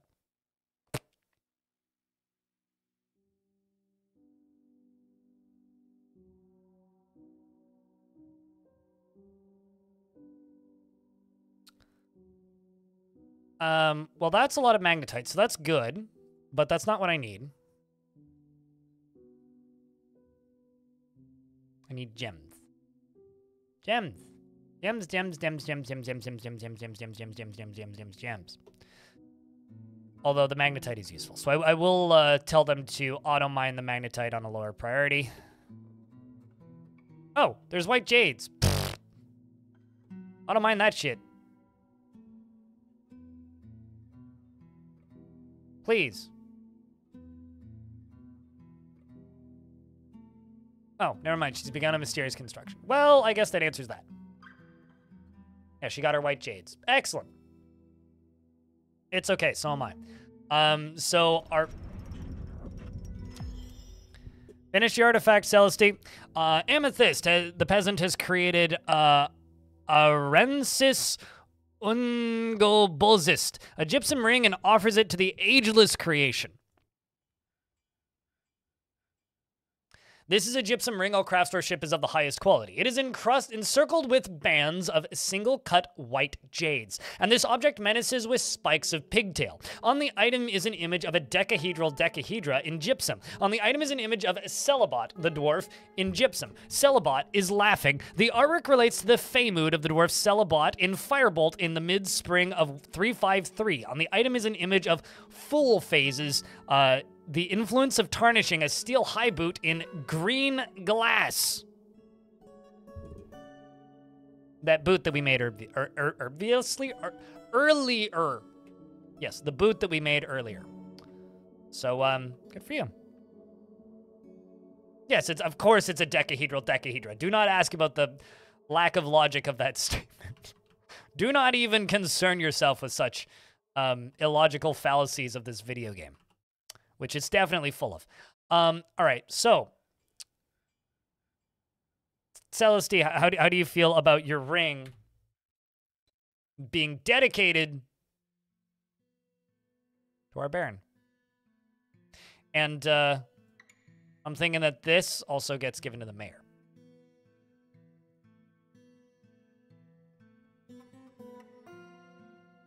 So this is all full of steel bolts. So I'm just going to forbid all of these. Because these are mostly metal and steel bolts, which is what we need. So I'm just going to forbid all of those. And then I'm going to set my military to train.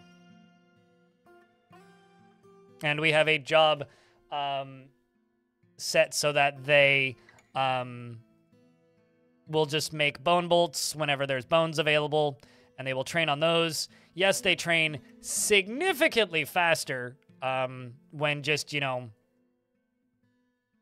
shooting live targets, but can't always have live targets, turns out. Can't always have large targets. Well, that sucks. I didn't want to fight that! Although I will say this is a cool looking cavern. Look at this, like, shelf here. You found it amusing that she made a gemcraft when peasant? I I also find it very amusing. Well, she made a ring, but for reference, um, Celestia always likes her dwarves to be ladies and uh, gem crafters. And uh, so obviously, you know, didn't get the gem crafter, but did make a craft using gems. Um, so we've discovered a downward passage as well. All right, let's take a look at things. I really like this cavern layer. This is a cool cavern layer. Look at this. Holy iron. Holy friggin' iron. That's a lot of iron. That's a lot, a lot, a lot, a lot, a lot, a lot of iron. Where are we? We're up here? Ah. I think I can erase this. That's so much iron. Holy shit. Well, we're about to get hit by an ad. Um, wait for the ad to play. What do you think, chat? Make this area appear safe, and there's a downwards passage right there, so seal that off. And um, build up this. I think we could do that. I think we could do that pretty well, actually. I think this will be all of the, considering the absurd amounts of coal we have earlier up, or far further up, um, what I could build, because we're going to get attacked by cavern critters, right? Because this is only like two levels high here, we could uh, build battlements around the edge of this, and I could set my squads to patrol around the edges of this and shoot anything that moves. There's also vomit down here. Dead pigtails. More gems. Lots of stuff we can do down here. And of course, we could set that into a well,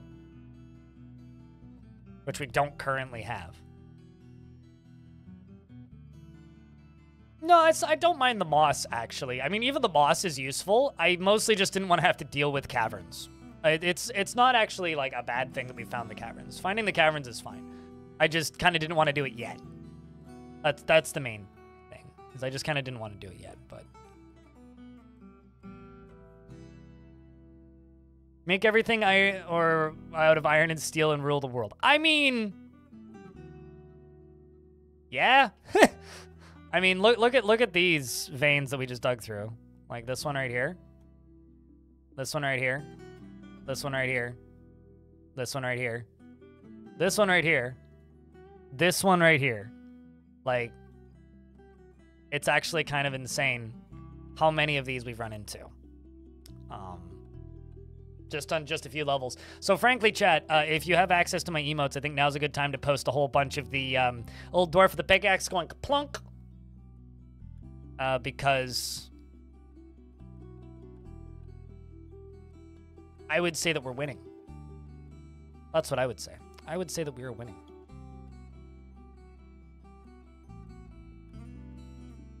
So just for clarity's sake, for coal and chalk, I'm going to go up to this stockpile here. I'm gonna remove chalk, which I already did. Good to know because we've mined very deep. It's time time to keep mining. And uh, I think it's time to make steel anvil. Five of them. And it's time to expand this lovely, lovely, lovely, lovely, lovely, absolutely wonderful little forge design to be uh, bigger and um, better Very technical terminology being used here today. Bigger and better And the way I'm going to make this bigger and better is um, by, I guess, filling this whole thing up with lava. Because who doesn't want a little tiny res res reservoir down here? I mean, uh, it'll work. Be fine.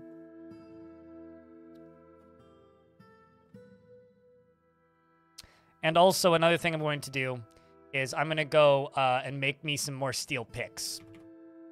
Because I don't actually have enough picks right now. I think I have three right now.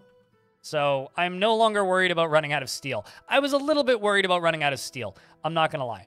But I'm no longer worried about running out of steel.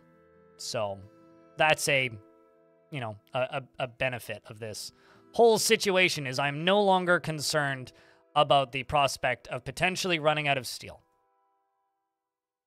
At least not anytime soon.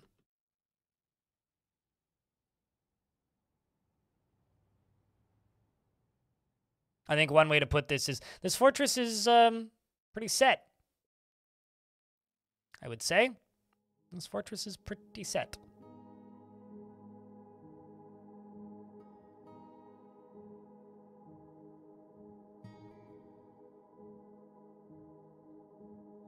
This is going to go across here, and then I'm going to channel down up top here. Is what's going to happen. So right there, we're going to channel across here. And then I'm just going to fill this in. And this side over here is going to fill. They're going to dig that out. And this up here is going to fill pretty quickly.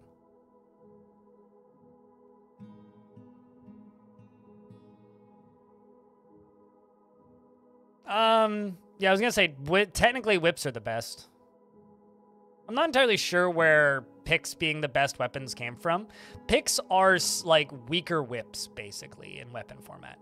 Picks are also interesting because they're not weapons by default, so the concept of using them as weapons, I think, is pretty alluring to people.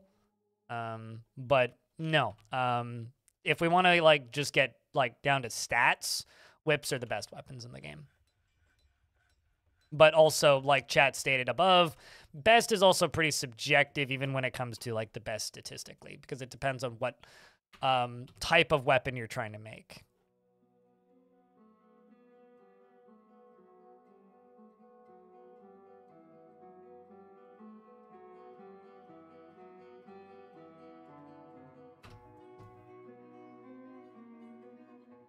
best weapon we can craft I would argue that adamantine short swords are better.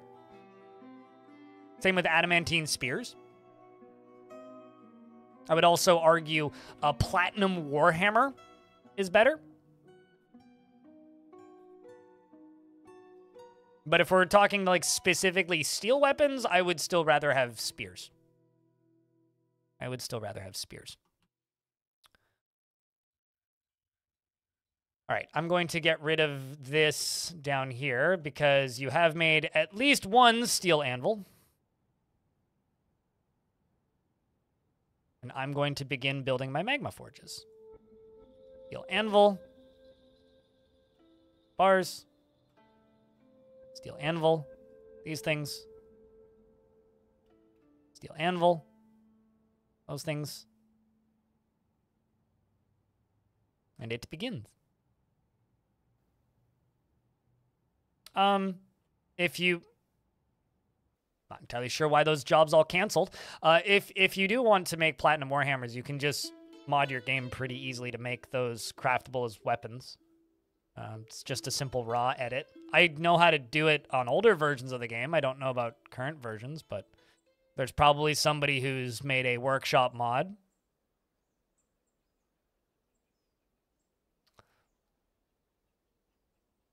A lot of that stuff is actually, like I said, very simple to put together. Okay, I have no idea why this. Oh, I, I know why it got canceled. I guarantee you, actually, it was because this got deconstructed and those items got displaced. Let's bring you back.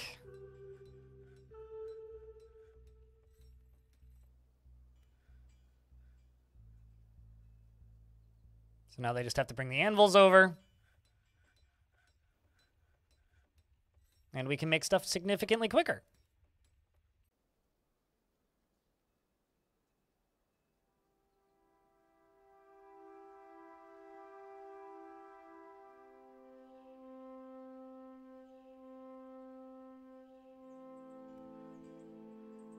But yeah, I mean, best all, often in Dwarf Fortress is also what is the per current person playing the video game's favorite weapon? So, chat, what's your favorite weapon to use? Which one do you prioritize?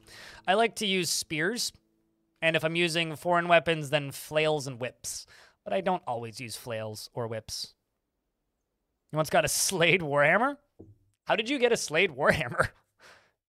Was it just an item you found, or did your dwarves manage to craft a Slade Warhammer? In which case, how did you manage to get the crafting materials to make a Warhammer out of Slade? Yeah, I like spears. I think spears are very dwarfy. Spears just have a nice aesthetic and look to them.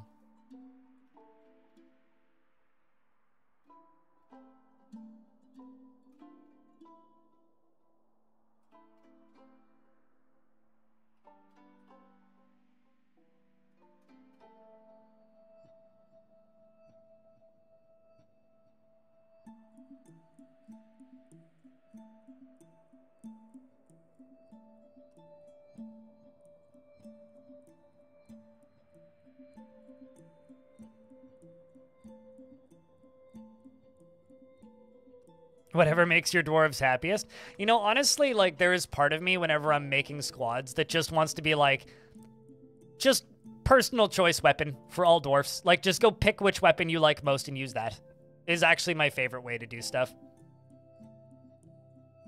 All right, so let's assign some more dwarves to be able to use steel picks. Uh, not you because you're in a squad. Not you because you're in a squad. Basically, none of the dwarves that are in the squads, but I do need some more miners. Because I'm assuming, yep, all this is just getting worked on. That is a fuck ton of iron. We've discovered an expansive cavern deep underground. So we've discovered the lower caverns. I'm going to, um, holy shit. Look at all of this ore. There's so much of it. All right, well, let's just run the dwarves down here. And just see what we're what we're dealing with here. Well, congratulations, Linku77. Welcome to the Twitch side of things.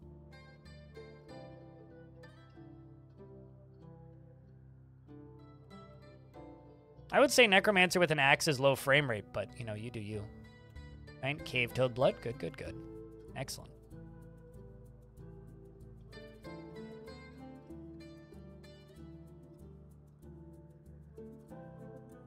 Well, that's exciting.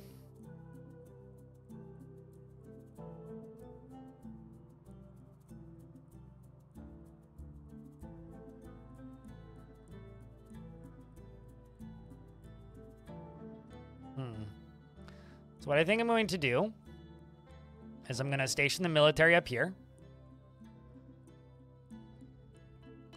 And I'm going to put a piece of floor over top of this.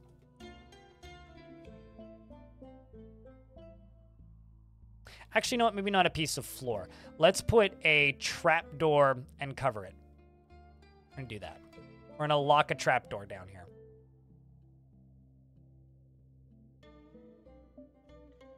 If you embark on a vault, you can break. Okay, yeah, that, I mean, that's what I actually want to know is like, how did you get the slade? I, I figured it was that way, but there's another way that I'm familiar with of with as well. Um, I was mostly just curious as to how you actually harvested the slade. All right, so dwarves. I'm gonna run you suckers back up to here.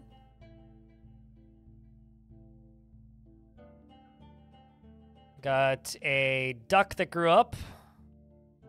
What I think I'm to start doing is just placing floors. Said floors, not not walls. I guess I clicked on the walls button, but I was intending to start constructing floors.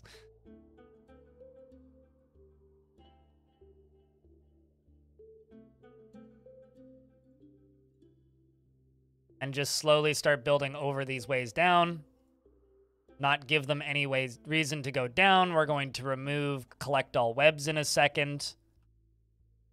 And this is what we're going to do. We are going to slowly construct a floor on this layer so that we'll have access to the, this cavern and all of the benefits of that um, shaft going down. And I will build uh, battle stations around the edges so that we can shoot bolts at uh, creatures attacking us and uh, that's about it. It should be fun. What's up, Embertron?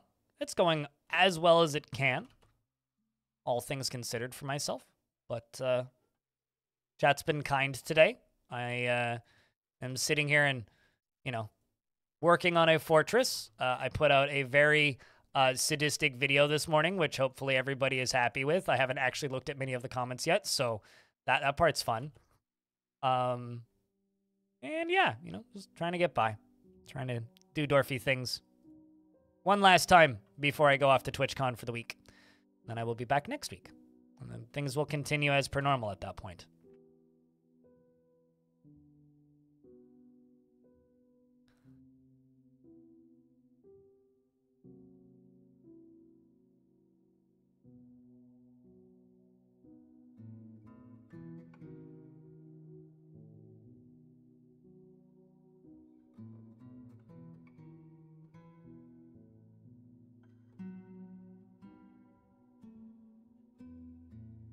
Um, everything on this side just leads down to water. Not good, but science rules. I mean, it was something. All right, let's just jump up into here and go to uh, labor. Do not automatically collect webs. Thanks. Because I'll bet you that's what you're doing. Yep. I don't want them collecting webs.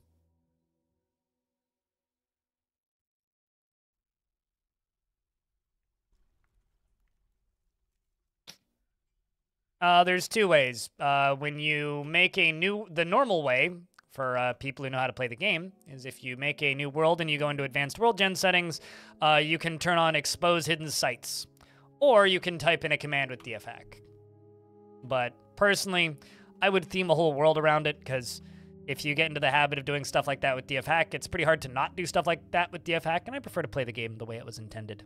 So the way you're supposed to find sites is you're supposed to go into uh, adventure mode and then you're supposed to discover the sites as an adventurer and then when you make new forts in that in the world um, they're just exposed when you start the fort.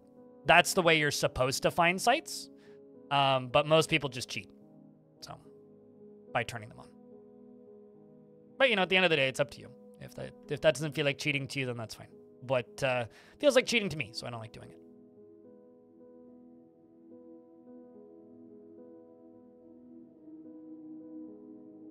I mean, DFHack doesn't care when you do things, so yes.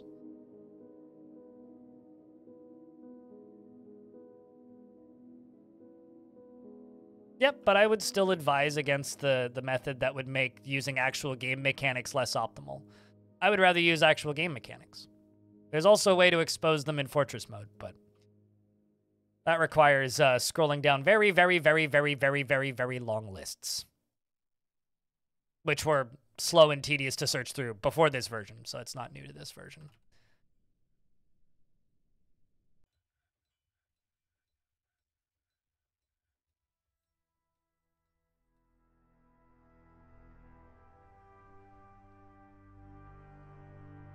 I think a lot of people, uh, I see a lot of people like saying that this version caused a lot of UI disruptions. A lot of the UI disruptions are from the old game, actually.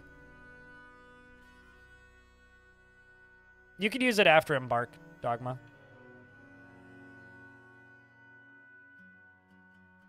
And you can see them on the overworld then. It just exposes them.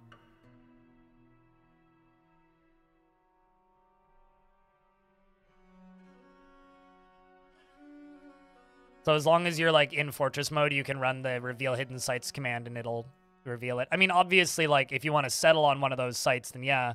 But you can use it bef like before you embark uh, or after you embark, rather, and uh, discover the locations of them and then raid them from a fortress that you already have settled. So you can use it before or after. But obviously, yeah, if you want to settle on those locations, you have to use it before embark. But like I said, that's cheating. Okay.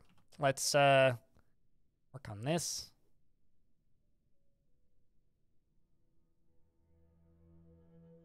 Maybe less cheating and more just lazy. is what I would say, but scroll through the log list like the rest of us.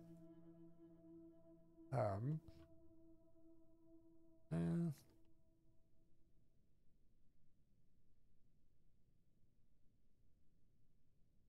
I I'm mostly just taking the piss. Don't don't take me too seriously. I'm just rambling while I'm, you know, constructing things. All right. Well, progress is being made slowly.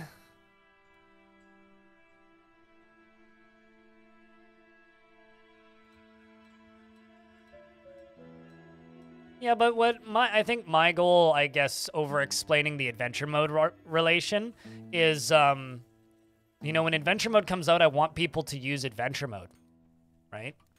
Because like the way the Dwarf Fortress community has existed culturally for a very long time is that, oh, you want to do do a thing? This is how you do it in DFHack. And then nobody ever learns the way you're supposed to actually do the thing.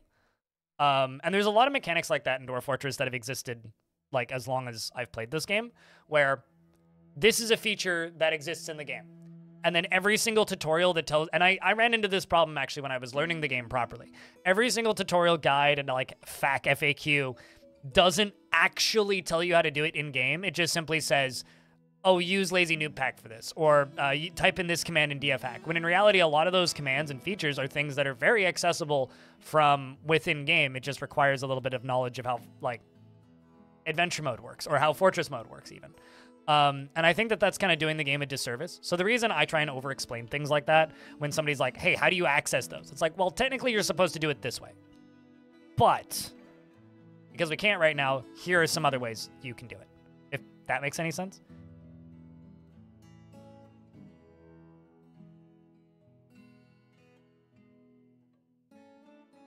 Looks like uh, I popped a cavern layer and are securing it. Yes. And babbling about adventure mode stuff. I wasn't really planning on going into the caverns, but um, look at all this iron. This is all iron. There's so much of it. There's so much of it. There's so much of it. So yeah, we've kind of hit the mother lode of magnetite. Um, so yeah, we, we are we are sealing this up. And uh, just above this, up here by the volcano area, we have all this, which is wonderful. So what I'm thinking about doing is um, maybe, what do you guys think? Little minecart route going up? I, I think I think we make a little minecart route going up. So let, let's go this way.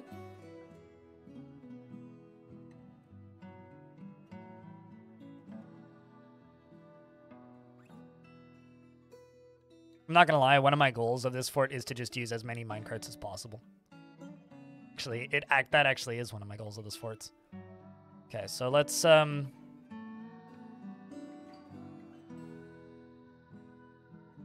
have a ramp going up. Gonna have to construct this going up, which is gonna be kind of a pain, but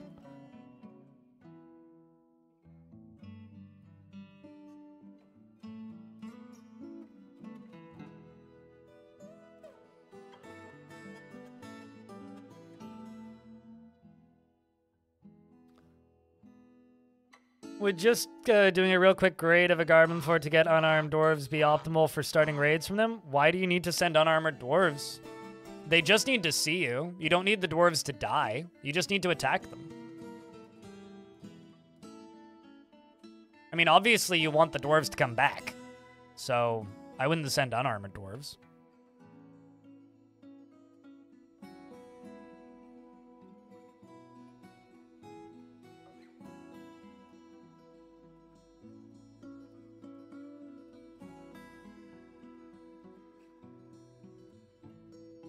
Copper with silver weapons? Why isn't copper... Okay, so I've killed necromancer towers with nothing but copper and silver.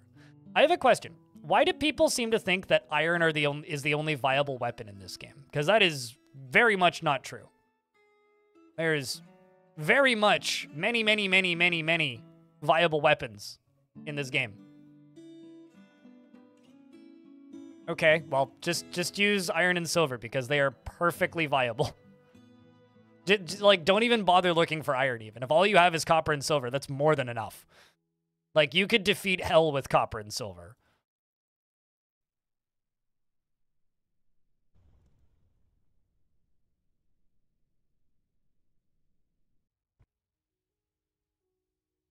Although, make silver warhammers is my advice. That is my actual advice. Make silver warhammers. I like that you have one of the best weapon materials in the game, being silver for silver warhammers, and your question is, do I send unarmed dwarves?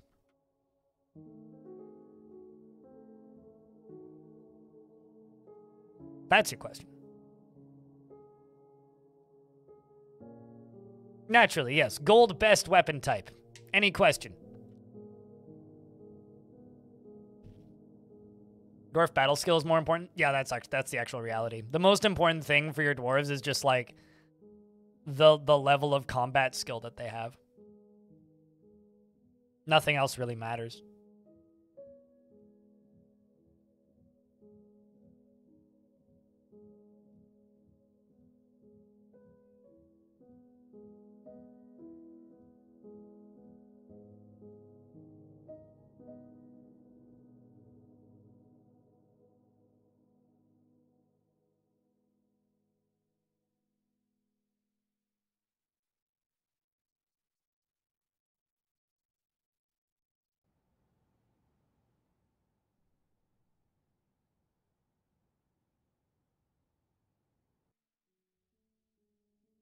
And you up here. You do this.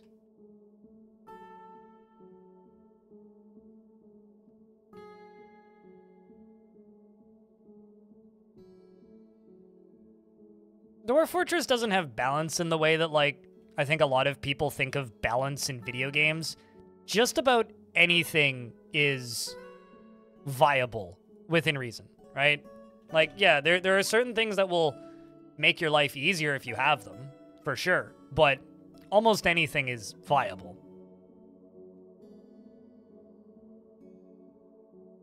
Things being viable is the norm, not not the other way around.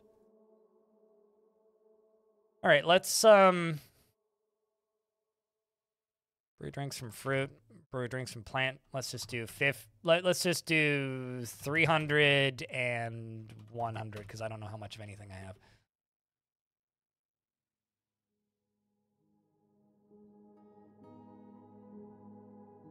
Yeah, are you trying to kill your dwarves? Are you trying to repopulate goblin civilization? Because that's what that'll do. It'll just repopulate goblin civil civilization.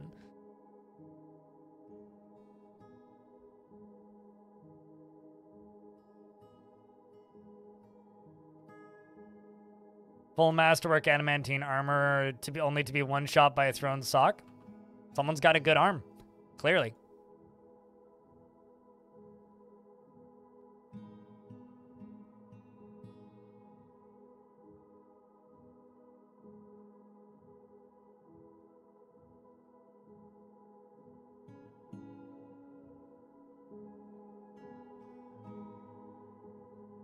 Was it a bronze colossus? Always the question. Okay, well, I guess I have to do it this way. This is a little annoying, but is what it is.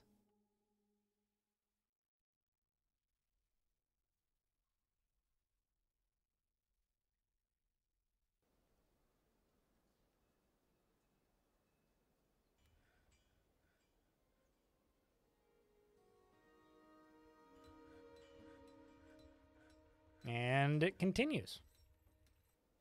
Not much, Ace. Yourself?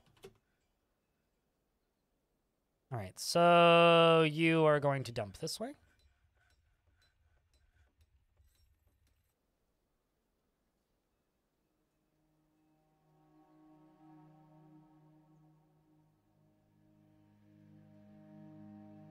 Used arena once to make a bronze colossus fight a dragon. The dragon won by melting the colossus after a few breath attacks. Yeah, it depends on who gets to who first in that fight. Uh, if the dragon gets to the colossus first, the dragon wins. If the colossus gets to the dragon first, the colossus wins.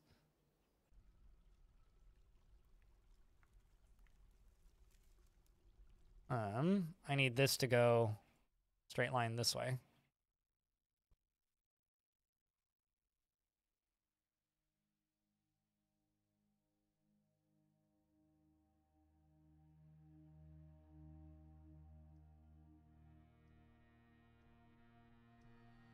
It's not the weapon that's important, it's the wielder. I mean, just don't ever miss, and you of course will win.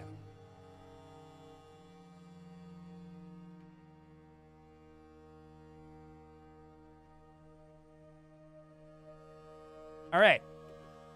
Easy enough. This right here can be for stone, magnetite magnets are pretty tight, is what this game is trying to tell me, I think.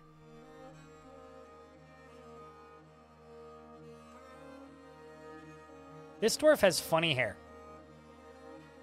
What kind of hair is that, dwarf? Very long beard is braided. Sideburns are clean shaven. His mustache, his long hair is braided. I guess it is braided. Maybe it's just a weird color. It looks like he's almost got like flat dreadlocks or something.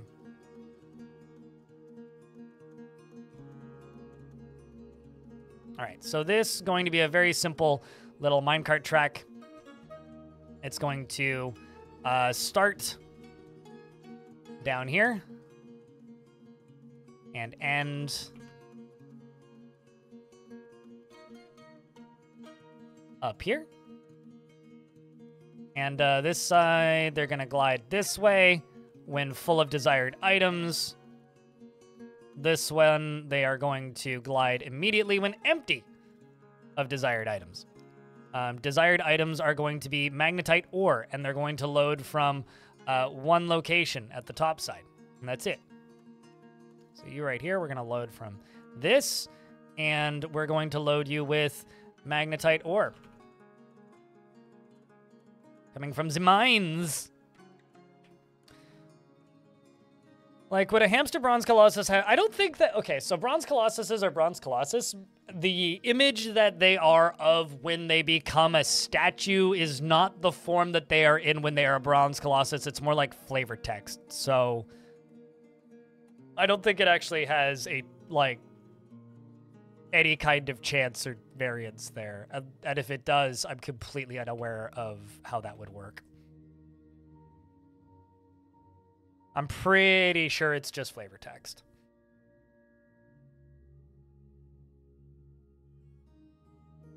But also, like, you need to remember that the only difference between a el- between a normal size elephant, a normal size bear, and a normal size lion um, is the lion has swords on its hands and a bite.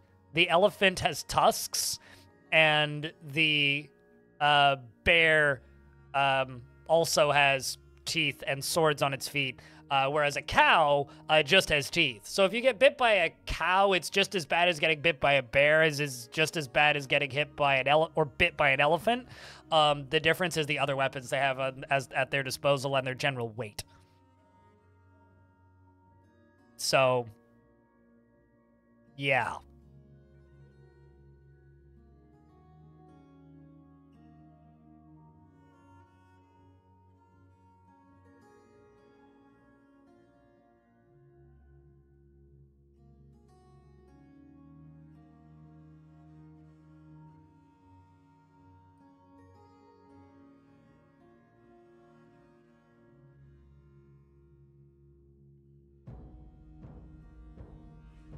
Hold on, I'm just gonna respond to a DM.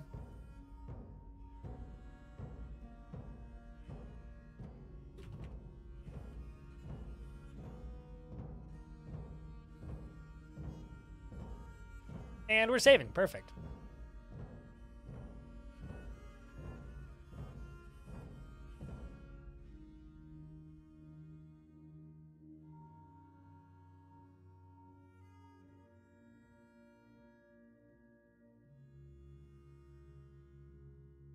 Oh, it's usually simpler to understand than one might think. I mean, a lot of the a lot of the depth in Dwarf Fortress is stuff that the player doesn't need to know or care about in a lot of instances.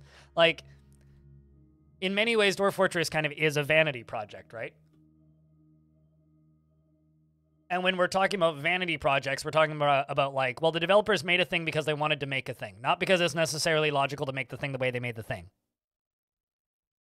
So there's plenty of things in Dwarf Fortress that like don't have any real reason to exist, which is why certain mod packs are very popular that remove a lot of the unnecessary depth. You know, things like temperature tracking on wood or like the fact that every single different type of wood in the game um, is a different material unto itself and is tracked as such. Um, so, you know, stuff like that. All right, well, that's just going to start bringing that up. And we've got intruders and a ghost, apparently. Um, what are the intruders? Ah, they're here to visit the, the, the body pile again. Well, that's nice. At the very least, they can make Edzul into something living again. Or not. They'll just run away without Edzul. You should have taken Edzul! um, all right, well, since they were unable, unable to take Edzul, we'll take advantage of that and uh, use Edzul's body for something else. Um, I need to figure out where I'm going to put Tombs. Panda, how are you? You're doing all right. I think the tombs should go under the forges. I think that would be dwarfy. What do you think, chat?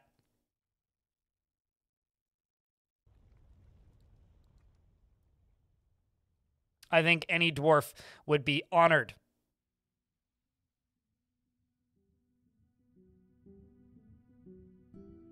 To be in a space such as this. Um, let's also make rock coffin. Just 10 of them, sure. Let's use alabaster. I'm pretty terrible, but me is uh, besides the point currently. Child has grown up. Basically, I'll put it this way: it's it's kind of a challenge to not just be a bummer this whole stream. When did this fort get started? Uh, two streams ago. So this is my third stream of this fort. the elves are, would like to inform us you have disrespected the trees in this area, but this is what we have come to expect from your stunted kind. Further abuse cannot be tolerated. Let this be a warning to you. All right, well we can definitely work within that. Um, I just need to chop down some to make some to make some uh, space for my uh, fa farming. But now that that's done, uh, we we don't need to worry about that. So I'm sure we, I'm sure we can accommodate that. I'm sure we can accommodate that now.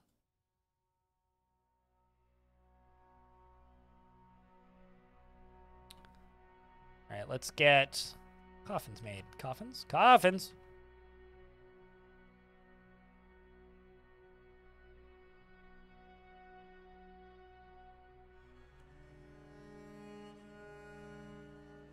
Apparently I'm out of alabaster, I guess.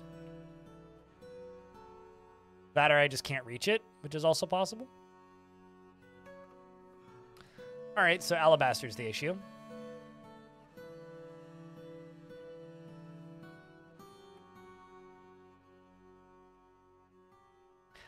The term knife ears. I, have said this many times, but it really bothers me.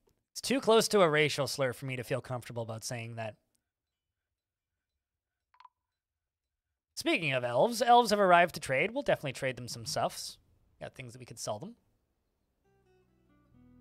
Always happy to trade with the elves.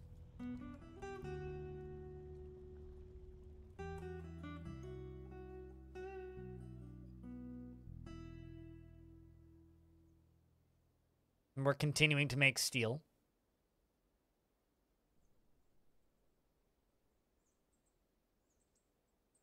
Things will look up eventually, but uh, good on me for pushing through in the meantime. Yeah, I mean, it's weird because, like, uh, long story short, um, I, lo I lost my second grandmother last night. Um, so earlier this year, I lost my dad's mom. And, uh, you know, like less than 12 hours ago, my Oma died. So it's been it's not like overwhelmingly terrible. It's just that weird empty feeling upon a family loss. So it's like just trying to do my best to stream. That's about it. I'll be fine. Don't worry about me, chat.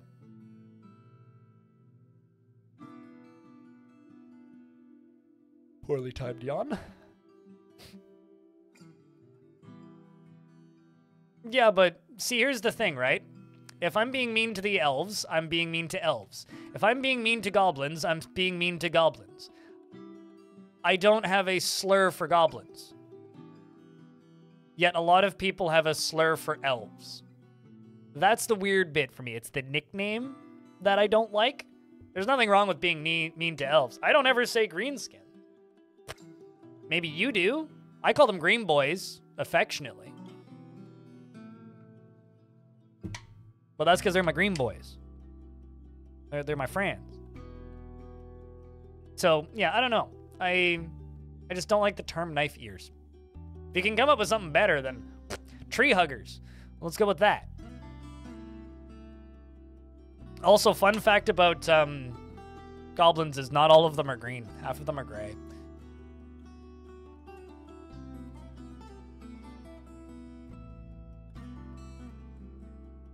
Kobolds? They're just kobolds, what?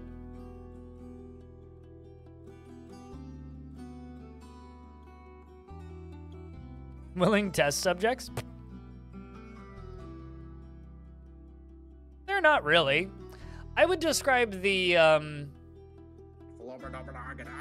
I, I don't like, I don't think of the elves as antagonists at all. Maybe I just never got that feeling from them.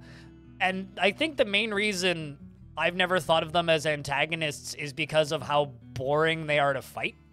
They're just super like the last fort we did was like entirely anti-elves, right? And like, you know, we we set a lot of elves on fire, but they are the weakest enemy to fight, period. The antagonists of Dwarf Fortress are like the necromancers, right? And the demons and the angels and the archdemons or the archdevils. Um, maybe evil gods, not really the elves. I, I don't think any particular faction is an antagonist because the factions are so liquid, right? Like, and I've seen elven factions that are almost entirely populated with dwarves, just as an example. So, I don't know.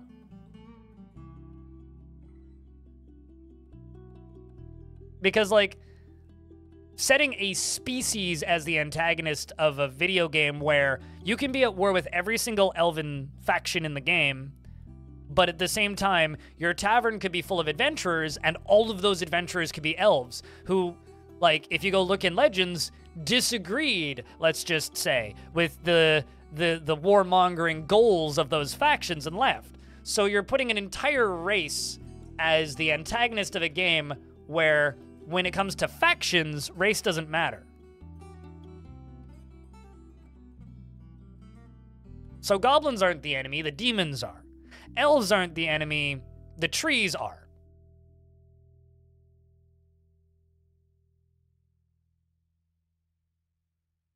And Gar- Gorlaks are wonderful. Everybody loves a Gorlak. I don't know. To me, Dwarf Fortress enables these like interesting discussions, which I just think are fun to talk about. So if this conversation annoys people, feel free to just babble about something completely unrelated, and I will talk about something completely unrelated.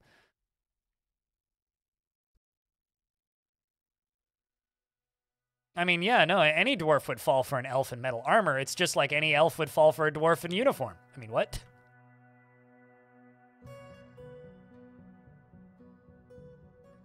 None of that was true. I'm just bullshitting now because words are fun. Were chinchillas? No, no, no, no, no. The chinchilla, not a were chinchilla, just the chinchilla is is our god. Dusty be his pelt.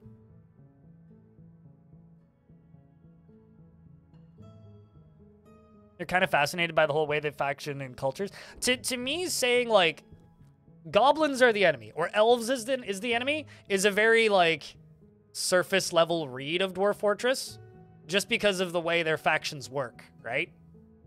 It's like goblins are only evil warmongers because they're literally run by masters who are demons. And if there isn't a master, the goblins are not peaceful, but a lot less warmongery. Like they don't just attack shit for no reason. Like I I've encountered um, goblin factions before that like didn't invade me until I attacked them after I'd been there for like right next door to them for like five six years because they didn't have a demon overlord. They're just like insular, weird. We'll fight everybody who attacks us, but yeah, I don't know. I I think that the way factions and like specifically this page of the wiki, ethics, I, I think really talks a lot about the way different groups in this game work. And I think it's largely part of the reason this game is so fascinating to me. So, um, what could possibly be on the other side of this surprise box? Let's find out.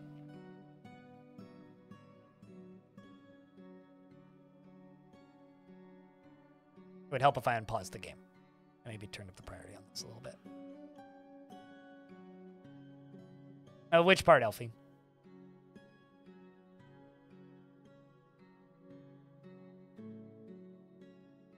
Ah, nothing. Excellent. Look at this. We got diamonds, diamonds, sapphire. Oh, that's unfortunate. Um, couple dwarves unconscious, nobody dead. That's good. Celistar. We knocked out Celistaris' kid, or Celistaris, unfortunately, who is uh, Terminal Wetness's kid, but uh, she seems to be fine. So that's good. It's a good page of the wiki. The ethics page of the wiki may actually be my most referenced page on the wiki, this period.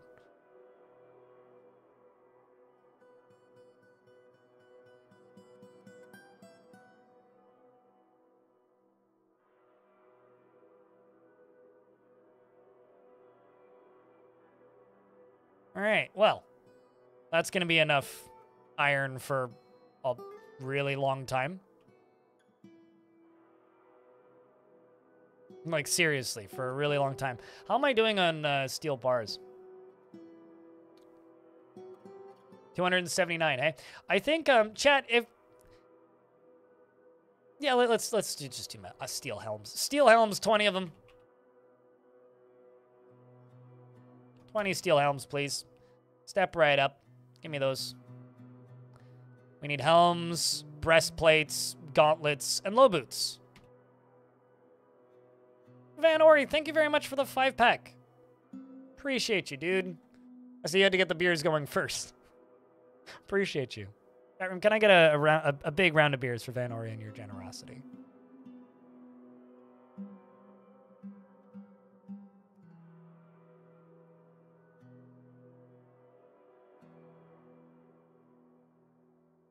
Let's just do 30 of each.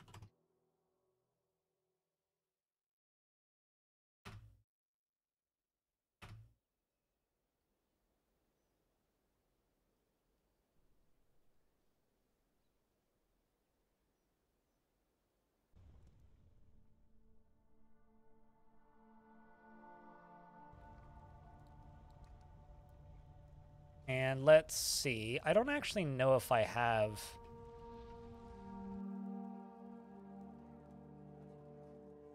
Do in fact have slabs. Okay, so you right here. Let's just sell them some pigtail cloth. We'll do that. Because they have unicorns. So I would really like to keep these elves happy with me because, chat, they have unicorns. And and you've you haven't lived um, until you've had a unicorn burger. Don't tell the elves that. But I would really like to make unicorn burgers for my dwarves.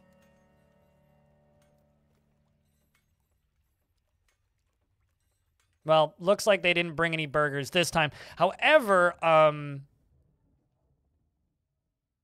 they did bring us some sand pears and some Snack time. Biddy!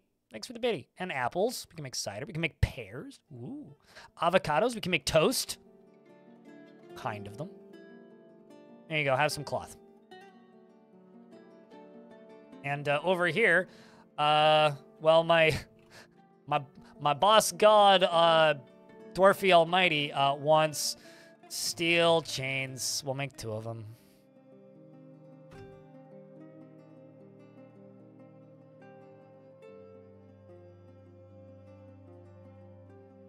You know, it's it's funny. Like when you ask me, do I know if there is? Um, I would just go look at Bay 12. Like if if like if if you go to um bay12games.com/dwarves, this website, and you go to, I think it's no, it's not features. It's uh, development. Go to development. These are all of their loosely planned features. Now, admittedly, this hasn't been updated in a while, but um, there's a key right here. So stuff that's in the game is green. Stuff that's planned is um, not green and gray. So as you can see, there's a lot of gray text here. So just go look at this. a12games.com slash dev slash dwarf slash dev dot html. Yeah. So um, usually when people are asking me those questions, I just I'm I open that website up and I'm skimming it. Anonymous gifter, thank you very much for gif- gifting a sub to Salty and uh, tell or um, and uh, shark jumping walrus. Thank you very much for the for the biddies. Appreciate you, mate. We were able to trade with them just in time. Damn, that was quick.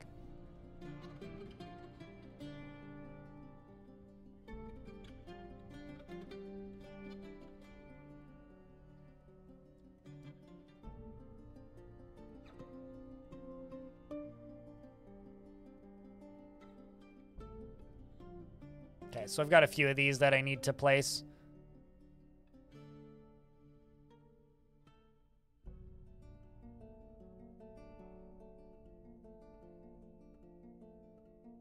You hate to sound like an impatient zoomer, but you want to see Toady die before the one-tenth of those features are in?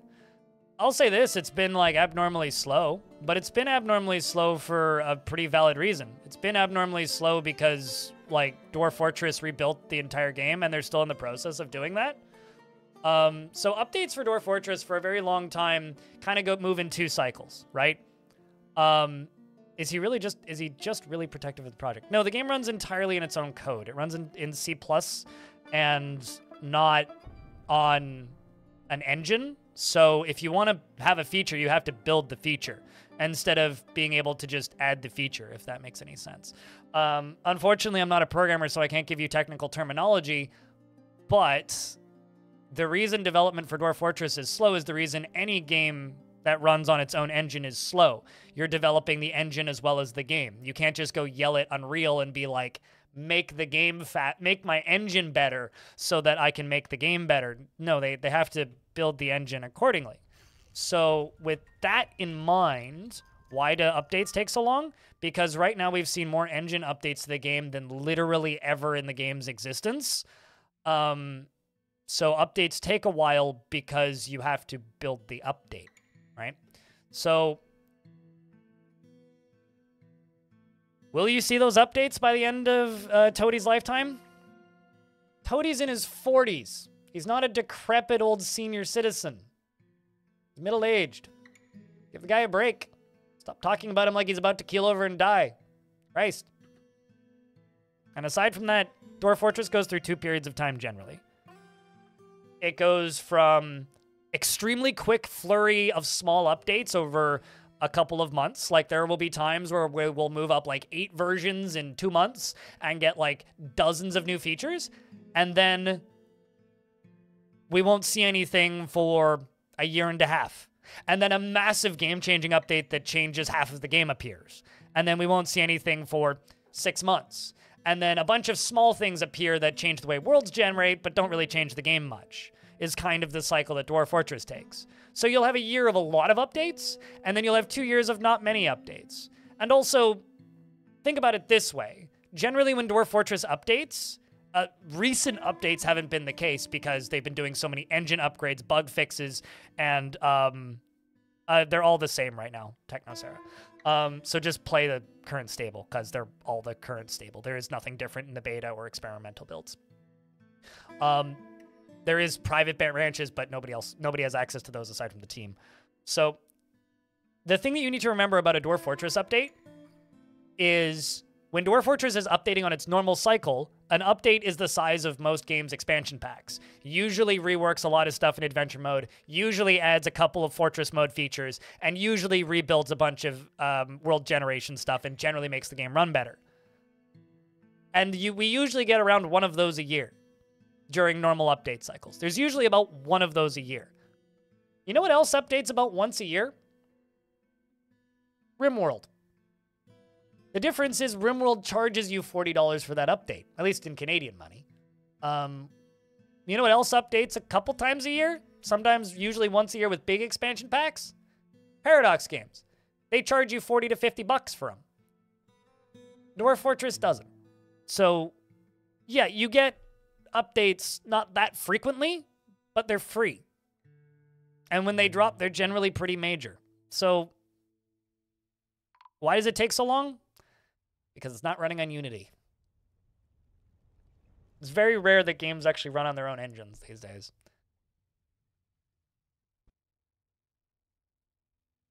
One of the biggest reasons DF is slow for updates is because of the size of the game. There are probably very few games, if any, that has that much detail. I mean, here's another good example, right? This is a video game that I really like, that I stream sometimes. Jupiter Hell. Now, Jupiter Hell runs in its own engine. The developer of this game used to joke that they would release before Duke Nukem Forever.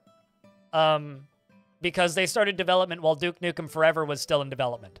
Although the first, like, eight and a half years of this game's development was literally spent building the engine for it. Now he can push up upda- push out updates really quickly because the development of the engine is done. Dwarf Fortress is developing its engine in concurrence with the game itself, right? Which is not the right way to do it, but they've been doing it that way for a very long time. And what the fuck? Diablo's on Steam? Huh. Well then. Can't wait for that to be the second most disliked game on Steam. Anyway, uh, wow. I'm actually really curious to see what its Steam update, what it, what its um, Steam reviews look like.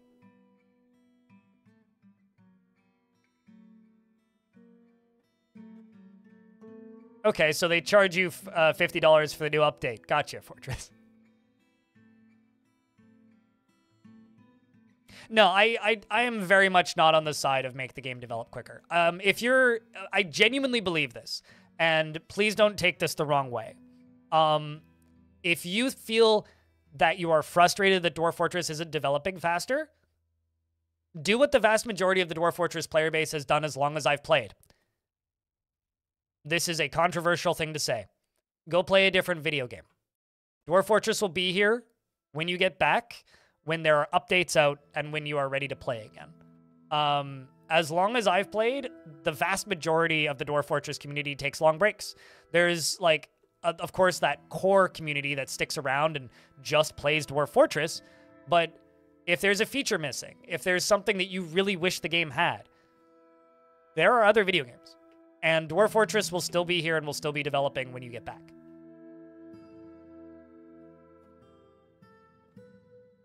I mean, that's also an option, but if you're modding the game so that it does the thing you want it to do, I generally would assume that you're probably not the person who's sitting there going, man, I hope the game updates tomorrow so that the feature that I just modded into the game uh, is in the game proper. You're probably not saying that as much, right? So that probably doesn't, uh, uh, like, apply to you, really. And also, I wouldn't really go calling people impatient Zoomers. I do kind of feel like some people are entitled. Generally, the only thing that really bothers me is when I see people saying that, like, like accusing the developers of being bad at programming or um, accuse them of being lazy or something, which is just like couldn't be further from the truth. so, like, I yeah, I don't know. I Dwarf Fortress is a unique case, and I think that Dwarf Fortress is a good example of, you know, developers should be allowed to work at their own pace and create their their vision, and let them do that.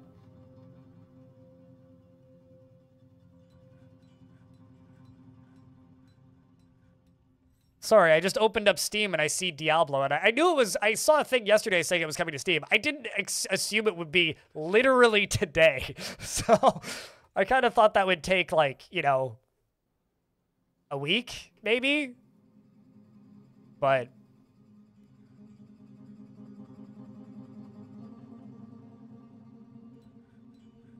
I don't know.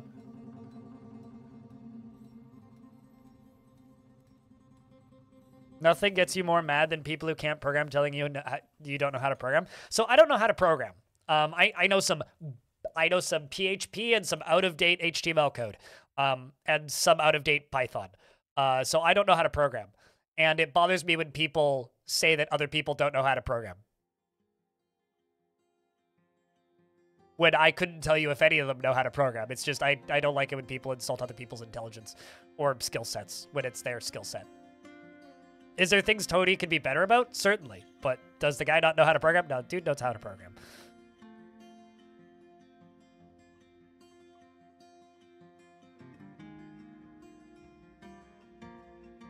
Absolutely, yeah, no, actually that's that's a good way to put it. I never thought about it that way, Buntaku. Is that it's a family business and not a and not like a corporate production studio. That's a, that's actually a really good way to put it. I'm gonna steal that. Thank you. It's like it's trying. It's it's like you're trying to com compare Walmart with, like I don't know, some family-run market.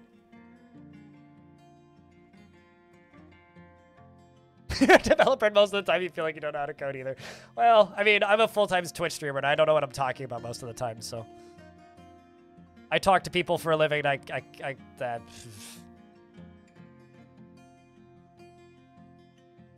That's about it. All right, let's keep filling these in.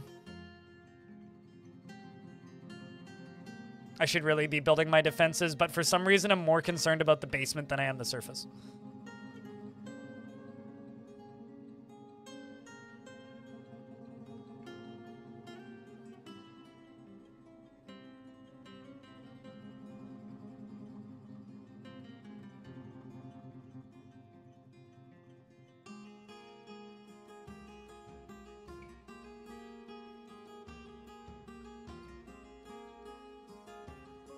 So this up here needs a drawbridge across it. Is what this needs. Also needs an entryway going out this way, so let's start building that.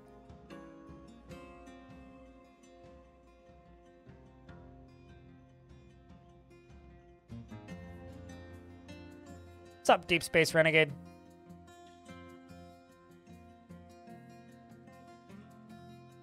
The right Forgotten Beast is scarier than any Goblin army. No, I agree. Like, they can be terrifying. But some migrants have arrived. And an ad's about to start. So I'm just going to wait until the ad's done, and then we'll name a couple dwarves. What do you think, chat?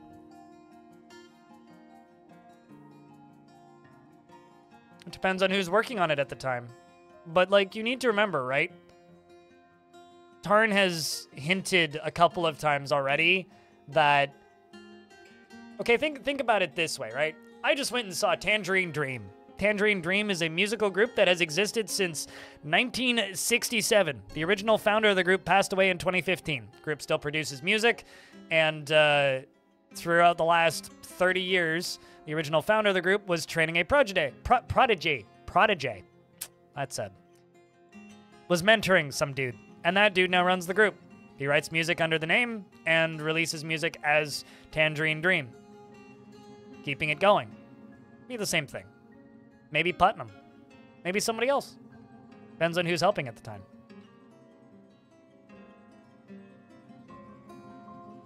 That or who knows? Maybe when Tarn passes away, it, it'll be in his will that the game will get open sourced. When that happens, it happens. Can you be the head of a temple again, please? I have absolutely no control over that. The dwarves have control over that.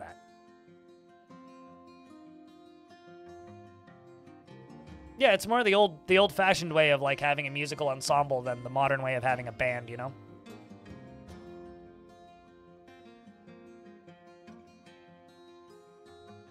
Wait, what'd they send you? You guys with OCB? I fucking hope not. Pocket glass. They wanted to hire me to uh, write, write, do stuff for community. I'd be interested, but uh, no. A lobster composed of platinum? How easy is it to cut platinum? like, I know it's dense. I don't know what its hardness rating is. Huh. I've seen steel, I've never seen platinum. Yeah, I mean, it might fall apart pretty Easily. Hmm. I just want to comment on this because somebody finally commented it on my, uh... Just, just because somebody finally com commented about it uh, on, on my Dwarven Weight Loss Program video. It's very nice of the dwarves to clean up their own blood after getting it all vented out of their body. Hello, CJ Man. How's things? Crab made of glass recently. Glass can be bad if you have the wrong weapons, yeah. Uh, chat room, I'm thinking of a number between 1 and 10. First person to say the number gets this dwarf.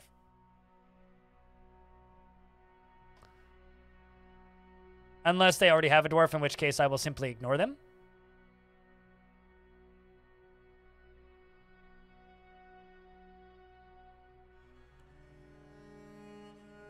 So somebody who already has a dwarf guessed the number but I can't give it to that person because they already have a dwarf.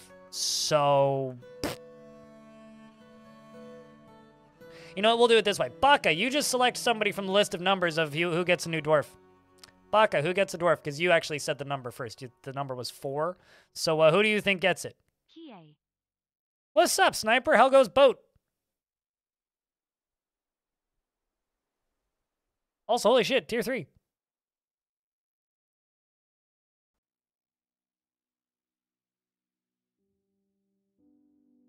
Ben is an optimist. He is very trusting. He is sloppy with his living space and does not enjoy participating in physical confrontations, though, though he is conflicted by this for more than one reason. He finds helping others to be emotionally rewarding and has an active sense of humor. He tends to think before acting and he tends to ask others for help with difficult decisions. He is somewhat fearful in the face of imminent danger and doesn't tend to hold on to grievances. And he is not inherently proud of his talents and accomplishments and generally acts with a narrow focus on the current activity and tends to not reveal personal information.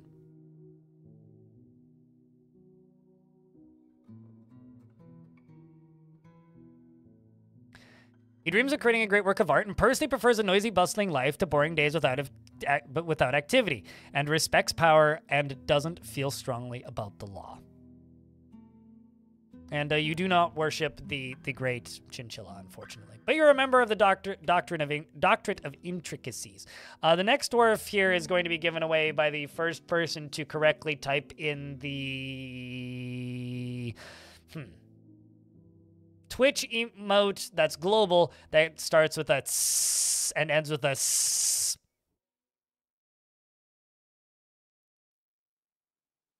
First person get the emote correct gets it. There you go, Manori. Manori does the thingy and uh, can be very happy and optimistic and really feels discouraged and sometimes can act without deliberation and confidence and doesn't handle stress well and has an active imagination. Dreams of raising a family and personally doesn't feel strong values tranqui- strongly values tranquility, quiet, and finds romance distasteful. Welcome to the fort. Uh, so the next few dwarves chat are going to be named simply by uh, first come first serve until I get bored. So uh, say pick me. True, true. You are you are right. So let let's give uh, Shogun a dwarf for uh, time stamping all of my videos. Uh, she is truly, she is often cheerful and is often nervous and doesn't cling tightly to ideas and is open to changing her mind. She is trusting and she often acts with compassion. She is somewhat fearful in the face of imminent danger and likes to keep things practical without delving too deeply into the abstract and chews her nails when she's thinking. She dreams of raising a family and personally finds acquisition of power, uh, uh, use of power abhorrent, and would have all masters toppled. And views competition as a crucial driving force in the world and finds eloquence and artful speech off putting and does not care about friendship. And she's a novice Marksdwarf. Terms of raising a family? Somewhat fearful in danger. That's fine. You can hide behind a wall. You are, in fact, a novice Marksdwarf, though, Shogun. Same with this one bone doctor I have. Yeah, you can join the military too. And thanks for gifting a sub to Brady.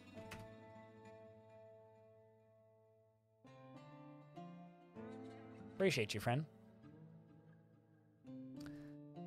Also, let's uh, grab both of these squatties and say uh, update uniform. There we go. Look at all this better armor we're getting. It's an improvement. All right, uh, now let's go to the front of the line because I left the game unpaused for a few seconds. Let's go to the pick me's. Go pick me. Who gets a pick me? Uh, you know what? We'll, we'll count dibs. Dibs counts.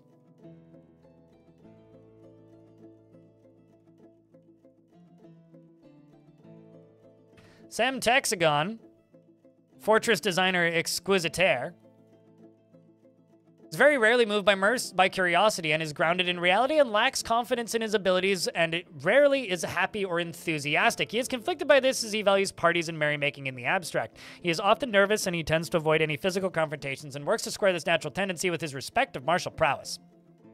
He is trusting and he rarely uh, feels discouraged, and he takes offered help and gifts without feeling particularly grateful. He does not easily fall in love and rarely develops positive feelings, and he tends to assume that the worst of two outcomes will be the one that comes to pass. And he acts with an narrow focus on the current activity and is brave in the face of imminent danger. And he is not particularly interested in what others think of him and needs alcohol to get through the working day, and personally values tradition, sees sacrifices wasteful and foolish, and sees life as unfair and doesn't mind it that way, and finds that maintaining decorum a silly and fumbling waste of time. Over here we have this animal dissector named Alath. Alath dreams of raising a family and is now officially named. Uh. I don't think you have a dwarf, so. MA said 6-4. Personally believes that the idea of time taken to master a skill is a horrible waste and sees competition as valuable and doesn't care about nature one way or another and dreams of raising a family. He dislikes obligations will try to avoid being bound by them. Checks out, and he, though he is conflicted by this for more than one reason, he very he only rarely feels strong cravings or urges, and okay, and only rarely tries to assert himself in conversation. He is very impolite and inconsiderate of property. He accepts favors without developing a sense of obligation, preferring to act as the current situation demands. He tends to make it a small mess with his own possessions, and he likes to brawl, and he doesn't focus on material goods. He often feels discouraged and acts with a narrow focus on the current activity. He has a tendency to consider ideas and abstractions over practical applications. He doesn't mind a little too about Discord in day to day living. And he has a tendency to go it alone without considering the advice of others and is quick to anger and often feels envious of others and does not have a great aesthetic sensitivity.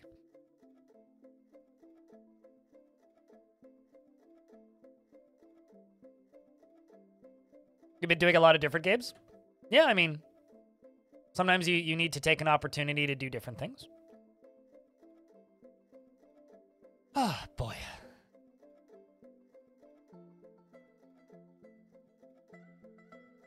Who's been picked so far? A few.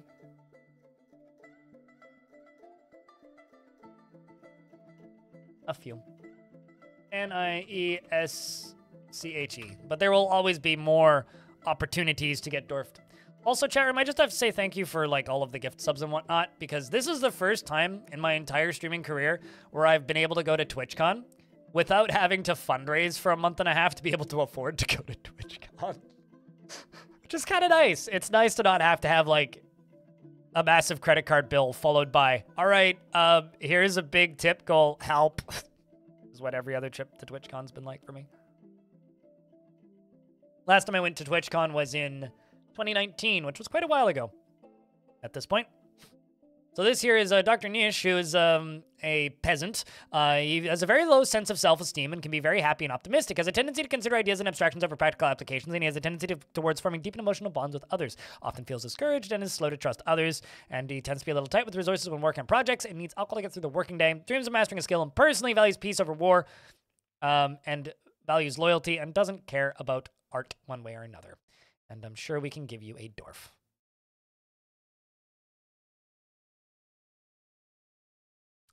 biggest beardest. Next over here is Erdim.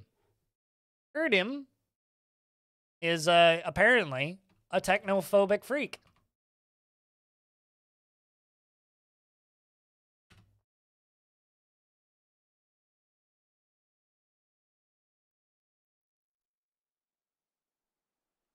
Um, I mean, I've been a okay. So let's let's put it this way.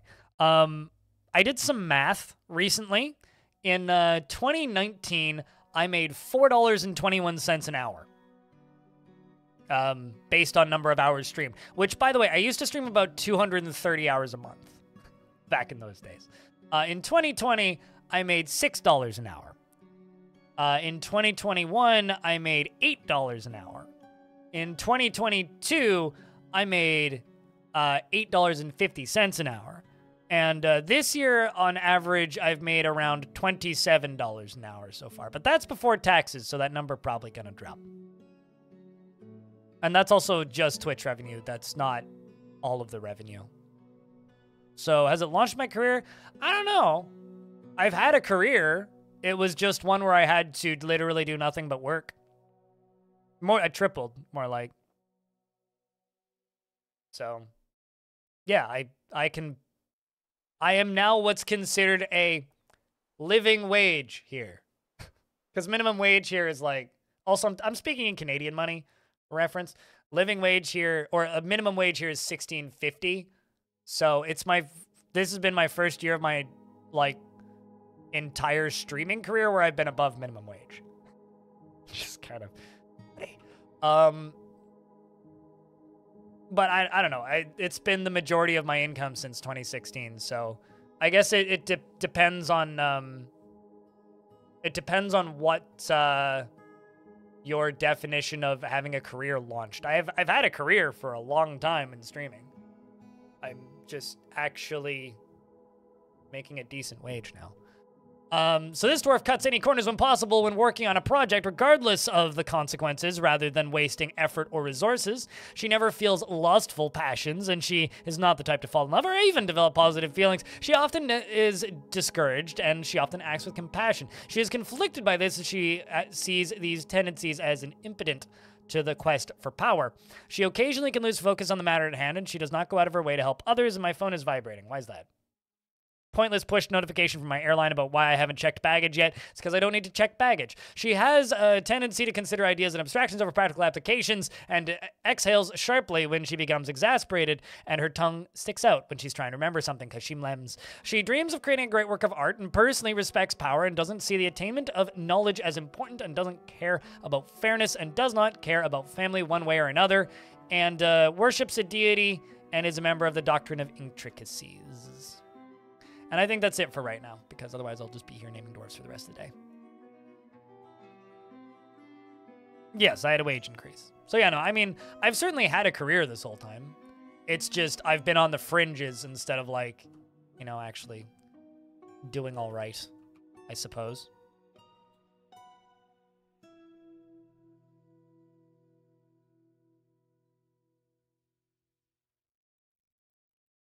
Yeah, um, the airline that I'm flying there with is a very cheap airline, so they try and upcharge for literally everything, um, including like bags and whatnot. So it's generally, uh, generally they just sit there and pester you from here to hell and back about, you sure, are sure you don't want to check bags? Because like, they they charge you an arm and a leg to check baggage. So they want to make absolutely sure that you do not want to give them an extra, you know, $150 to check bags. Yeah, but some are worse than others. Trust me, some are worse than others. This is an airline where I could fly from here to Toronto for 50 bucks. Better not bring anything. If you're just traveling with like a handbag or a backpack, you're okay. But if you try and bring anything else, they're more expensive than any other air airline. But if you're bringing literally nothing, they are super cheap. And as somebody who travels very light when he travels, not not an issue for me. Now charge for carry-on bags? Really? Oh, well. Uh, for reference, I'm flying Flair, like I said earlier. The only airline that has crashed planes in Canada this year. So, if I die, you know why. If I don't make it back from Vegas, that's why.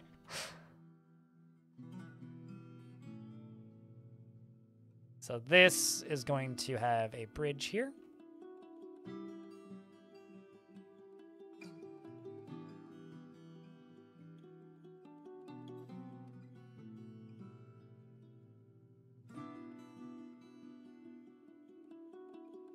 That's why you just wear your suit.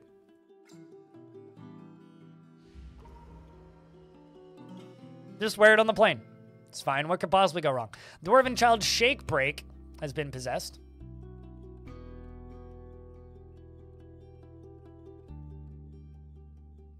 I tell my CPU that all the time, and it used to never listen on the old computer, so hopefully planes listen better than computers. You know, I, and I also say that, but like, jokes aside, there was a time I saw somebody in a full fursuit on a plane, so.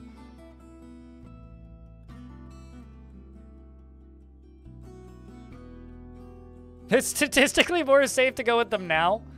To be fair, nobody died in either of those crashes, so I'm not too bothered about it.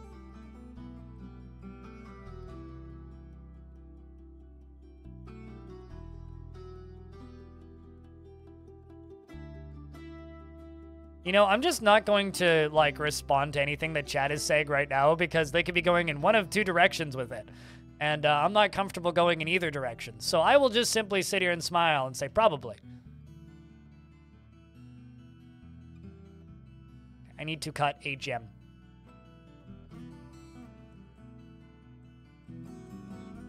I see nothing.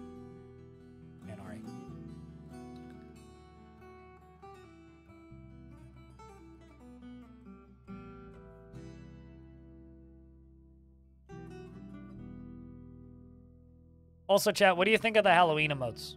We got two. We got Treatland, and then we got Crypt Blank, who's still blank.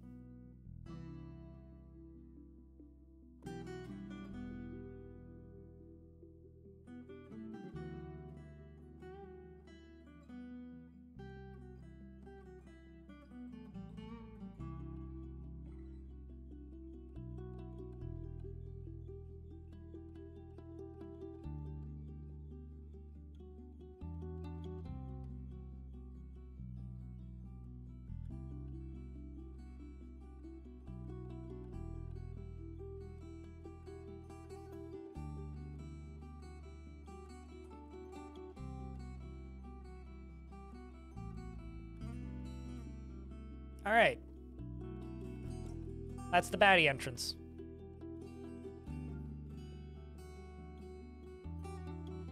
Now I need to figure out where to put levers.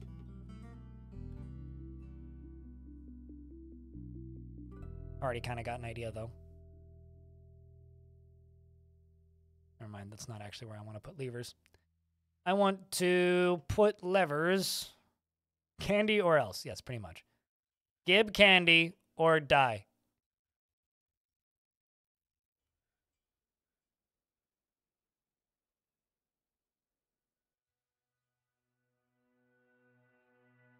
This will be mission control, Dorf edition.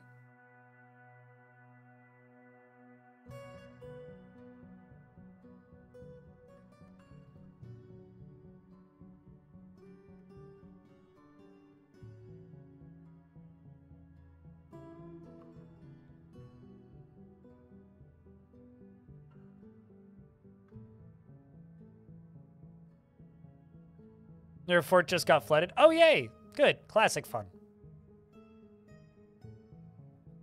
But uh, my afternoon's as good as it can be. All things considered.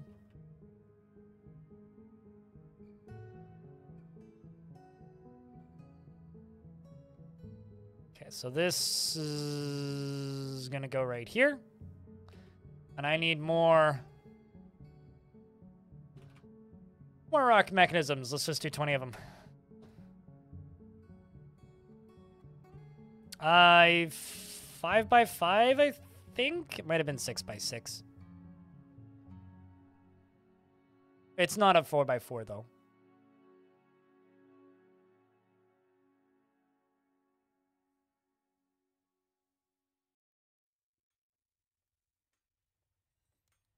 I don't know.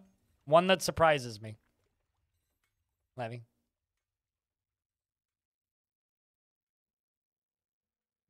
Because turns out the ones I'm the most excited for are the ones I don't know are, that are coming. So, I don't know. We'll see. Depends on what gets added.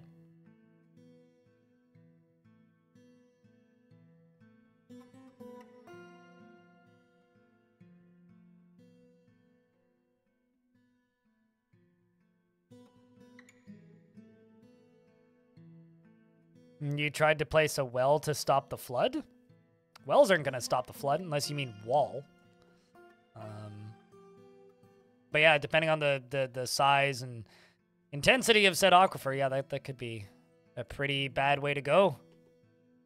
At least you didn't do the, the classic, like, dug into a river while it was frozen and then got flooded by the river when it thawed.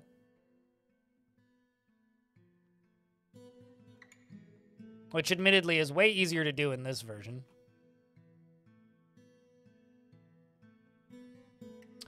Many reasons.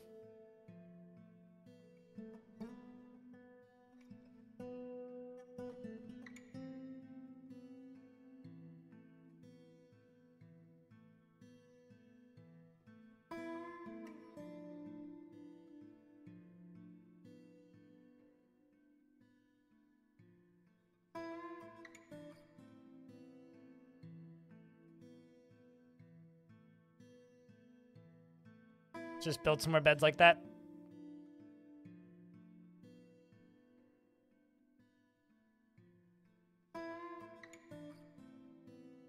Yeah, but yeah, I don't generally try to fixate Levy on things that aren't in the game yet. Because what's the point? so I just gen generally just play the game as is and have fun as the game is. And then when fixes come out, I'm happy for them. Fixating on things that aren't in the game yet just kind of makes one impatient.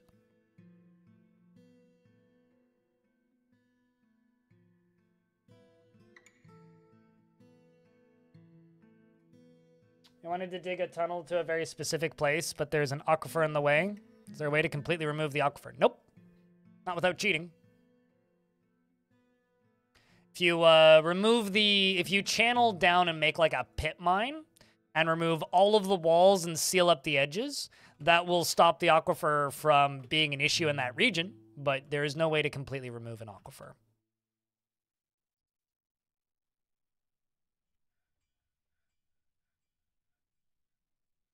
Yeah, once you've like figured out how to be really creative with things like mist, you can build some really cool devices and buildings and areas. Very satisfying construction game once you get into it.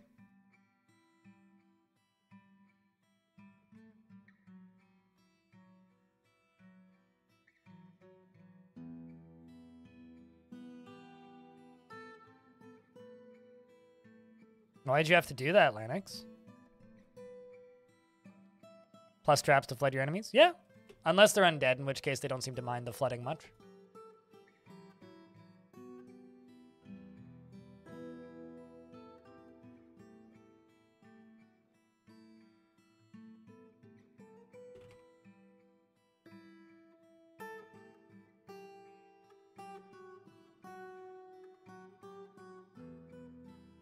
Also need to figure out how much wood I have in a minute. Plenty.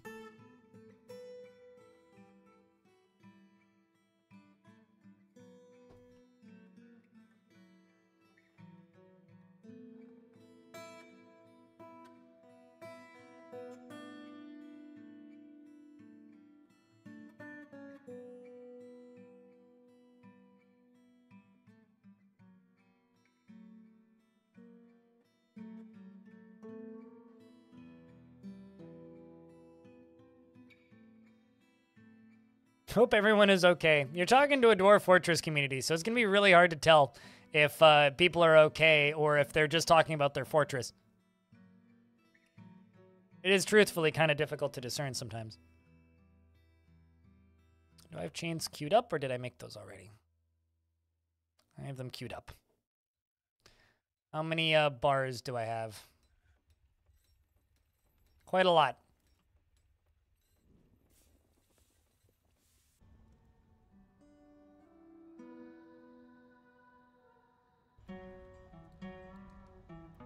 There we go. Making progress. Look at all of this. Look at all of this. Excellent.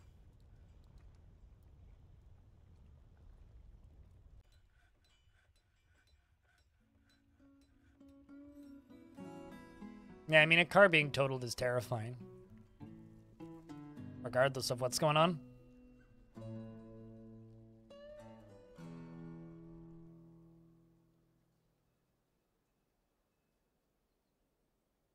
Get them training, and they get back to doing that.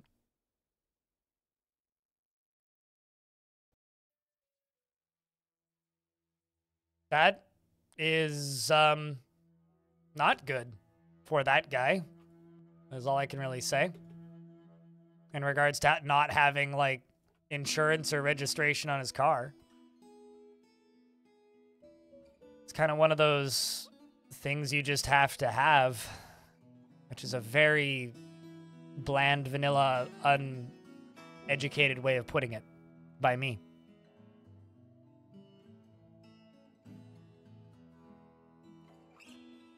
Casting? To how many floors are those towers? When you, when you say casting, do you mean casting the bricks and then placing them, or literally like 3D printing towers? Because I've 3D printed buildings before, and it's so slow. It's so slow. Eight floors? Damn. It's cool.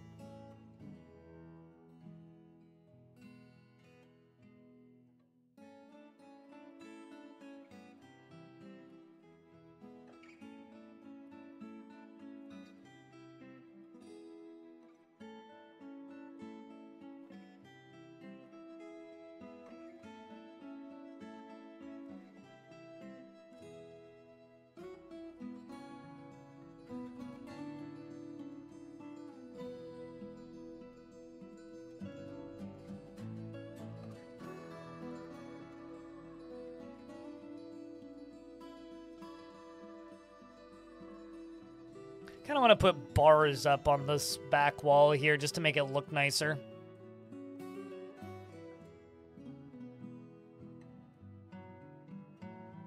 And your FPS is tanking? The FPS should recover.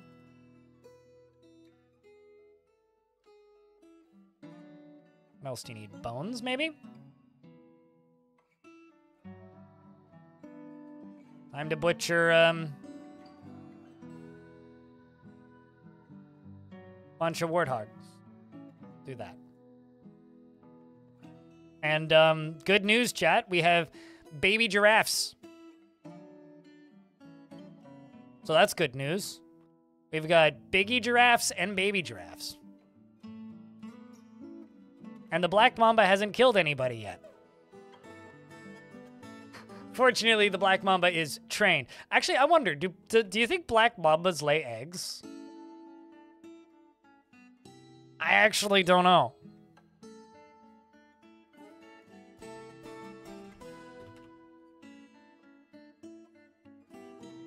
Starting to look like a zoo. I mean, we're just taming the local flora and fauna, which is pretty normal Dwarf Fortress, like, stuff. Am I going crazy or did something just shoot venom? I think I'm going crazy. Nope, that was just a baby giraffe moving at turbo speed. Got it. Baby giraffe have the zoomies, apparently. Okay, what else do you need, Shake Break? And you have bones, KGM Shining, bricks, okay.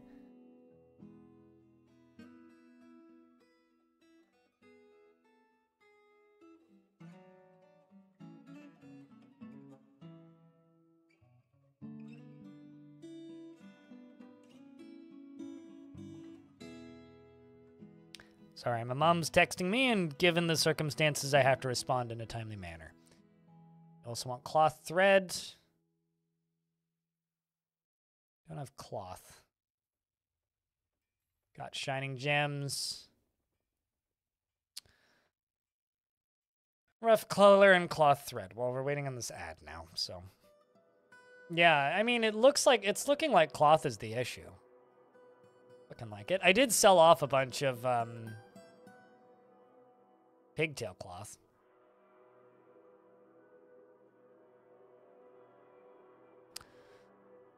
Looks like I got nothing that I can, uh...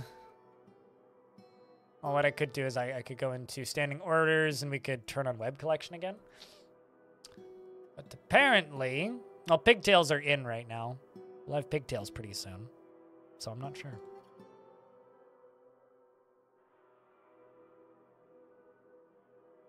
Black Mambas lay eggs, not one of the live birth snakes? Gotcha. I wonder if that's represented in this game then. Yeah, this isn't a giant black mamba. This is just a black mamba.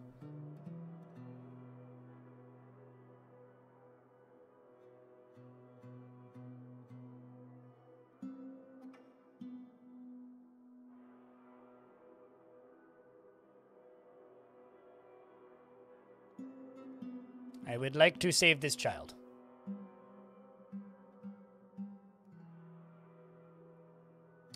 Well, we are in pigtail season, so it's possible that there are some living pigtails down here. Those are dead pigtails.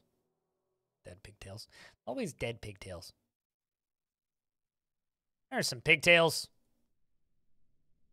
Let's harvest those. In fact, let's harvest all of these. All of them a stuff. A lot of dimple cups, actually.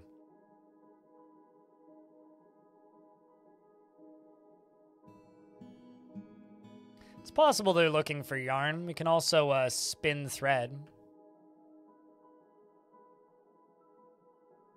I think I have a... Yeah, I, I do have an alpaca. All right, well, let's spin some thread then. Already got NAF, or whatever, however you pronounce it with the K. Knaf. Uh, we'll, we'll go for the alpaca. Gonna go be a mod. Enjoy your modding, Panda.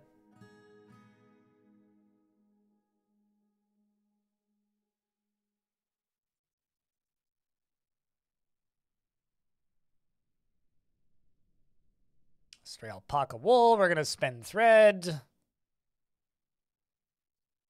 Might be what she needs. I don't know. It's either that or like cave spider silk.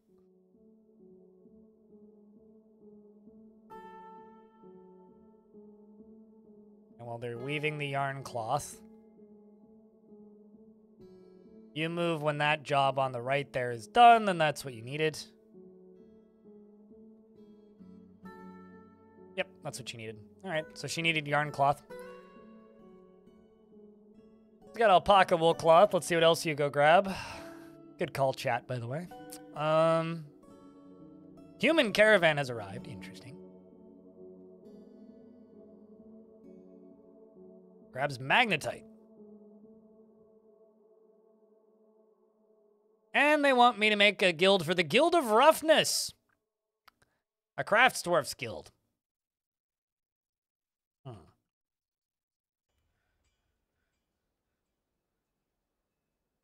Question is, where do I put it? That is the question.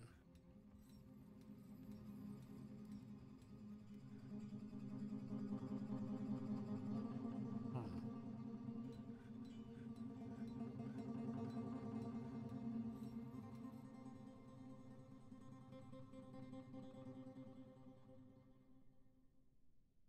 That's not the button I wanted. Um, the button I wanted was this. There we go. We got six more bedrooms and probably a ton of dwarves that need beds. Eh, not so bad. We're actually keeping up okay. To get a dying industry off the ground, but you think it would be fun to have some different colored cloaks. Yeah, they don't actually, it's not actually represented on the dwarves visually though. So like that's, that's the one thing you got to remember about that. Um, think I will sell these humans the non-steel bolts. Is what I will do. And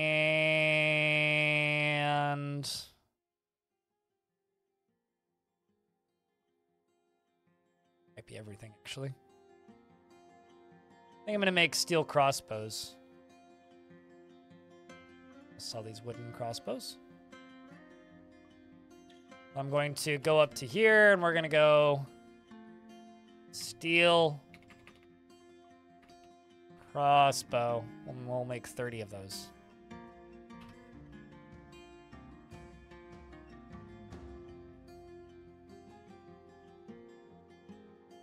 Is this a free or paid game? Uh, this is the paid version, but technically it's a free game. Free version um, just doesn't include the graphics or the music, so the free version looks like this. Paid version, you can turn graphics on if you want.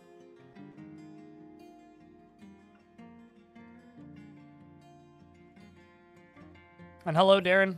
How you doing? But if you want the free version, just go to bay12games.com slash dwarves and download her. Right here. For Linux or Windows.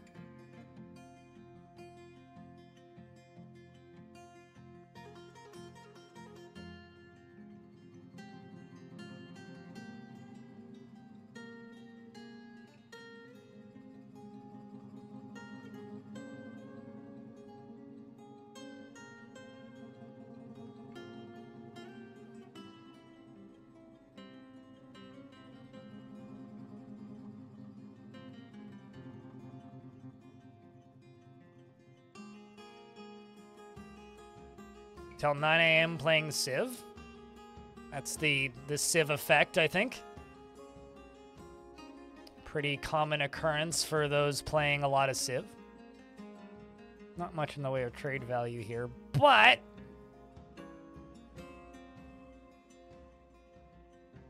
Guess I can definitely buy some meats, if nothing else.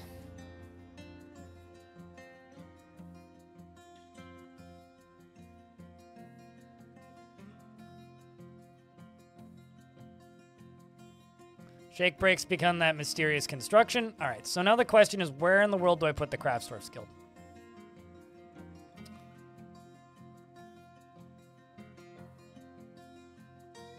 I also started building up here for slabs and then moved it to down here.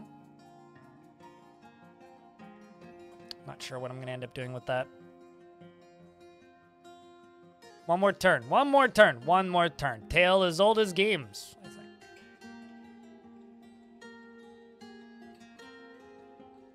Need to get some more flow into this.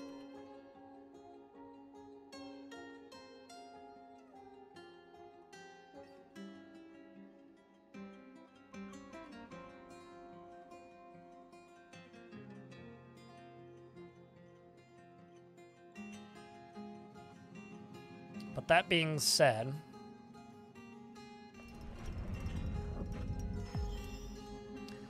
Shake Break, the Dwarven Child, has created Betanimal. Betanimal. uh, a wild boar bone grieves and claims it is an heirloom in the name of the family ancestor Ral Lucid Tin. Be lucid like the tin. This is a wild boar bone Greaves. All craftsdwarfship is of the highest quality. It is encrusted with rectangular chert cabochons and table cut white jades, and decorated with cave spider silk and encircled with bands of oval chert cabochons. This object menaces with spikes of wild boar bone, white jade, and alpaca wool and magnetite. Verifying space behind you to emerge in front of a semi and didn't see the very large object in the road. Now you have a new tire. Well, that sucks. Could be worse, though. Least it's just a new tire and not, like, you know, a new car.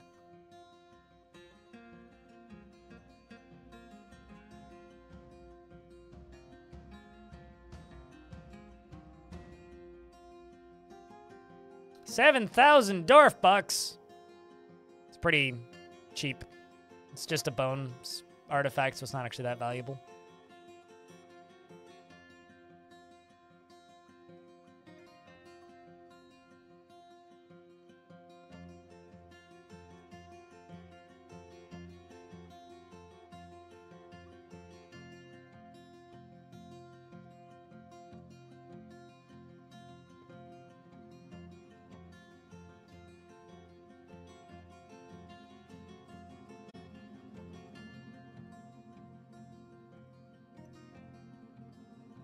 And in here, we will set up more bedrooms.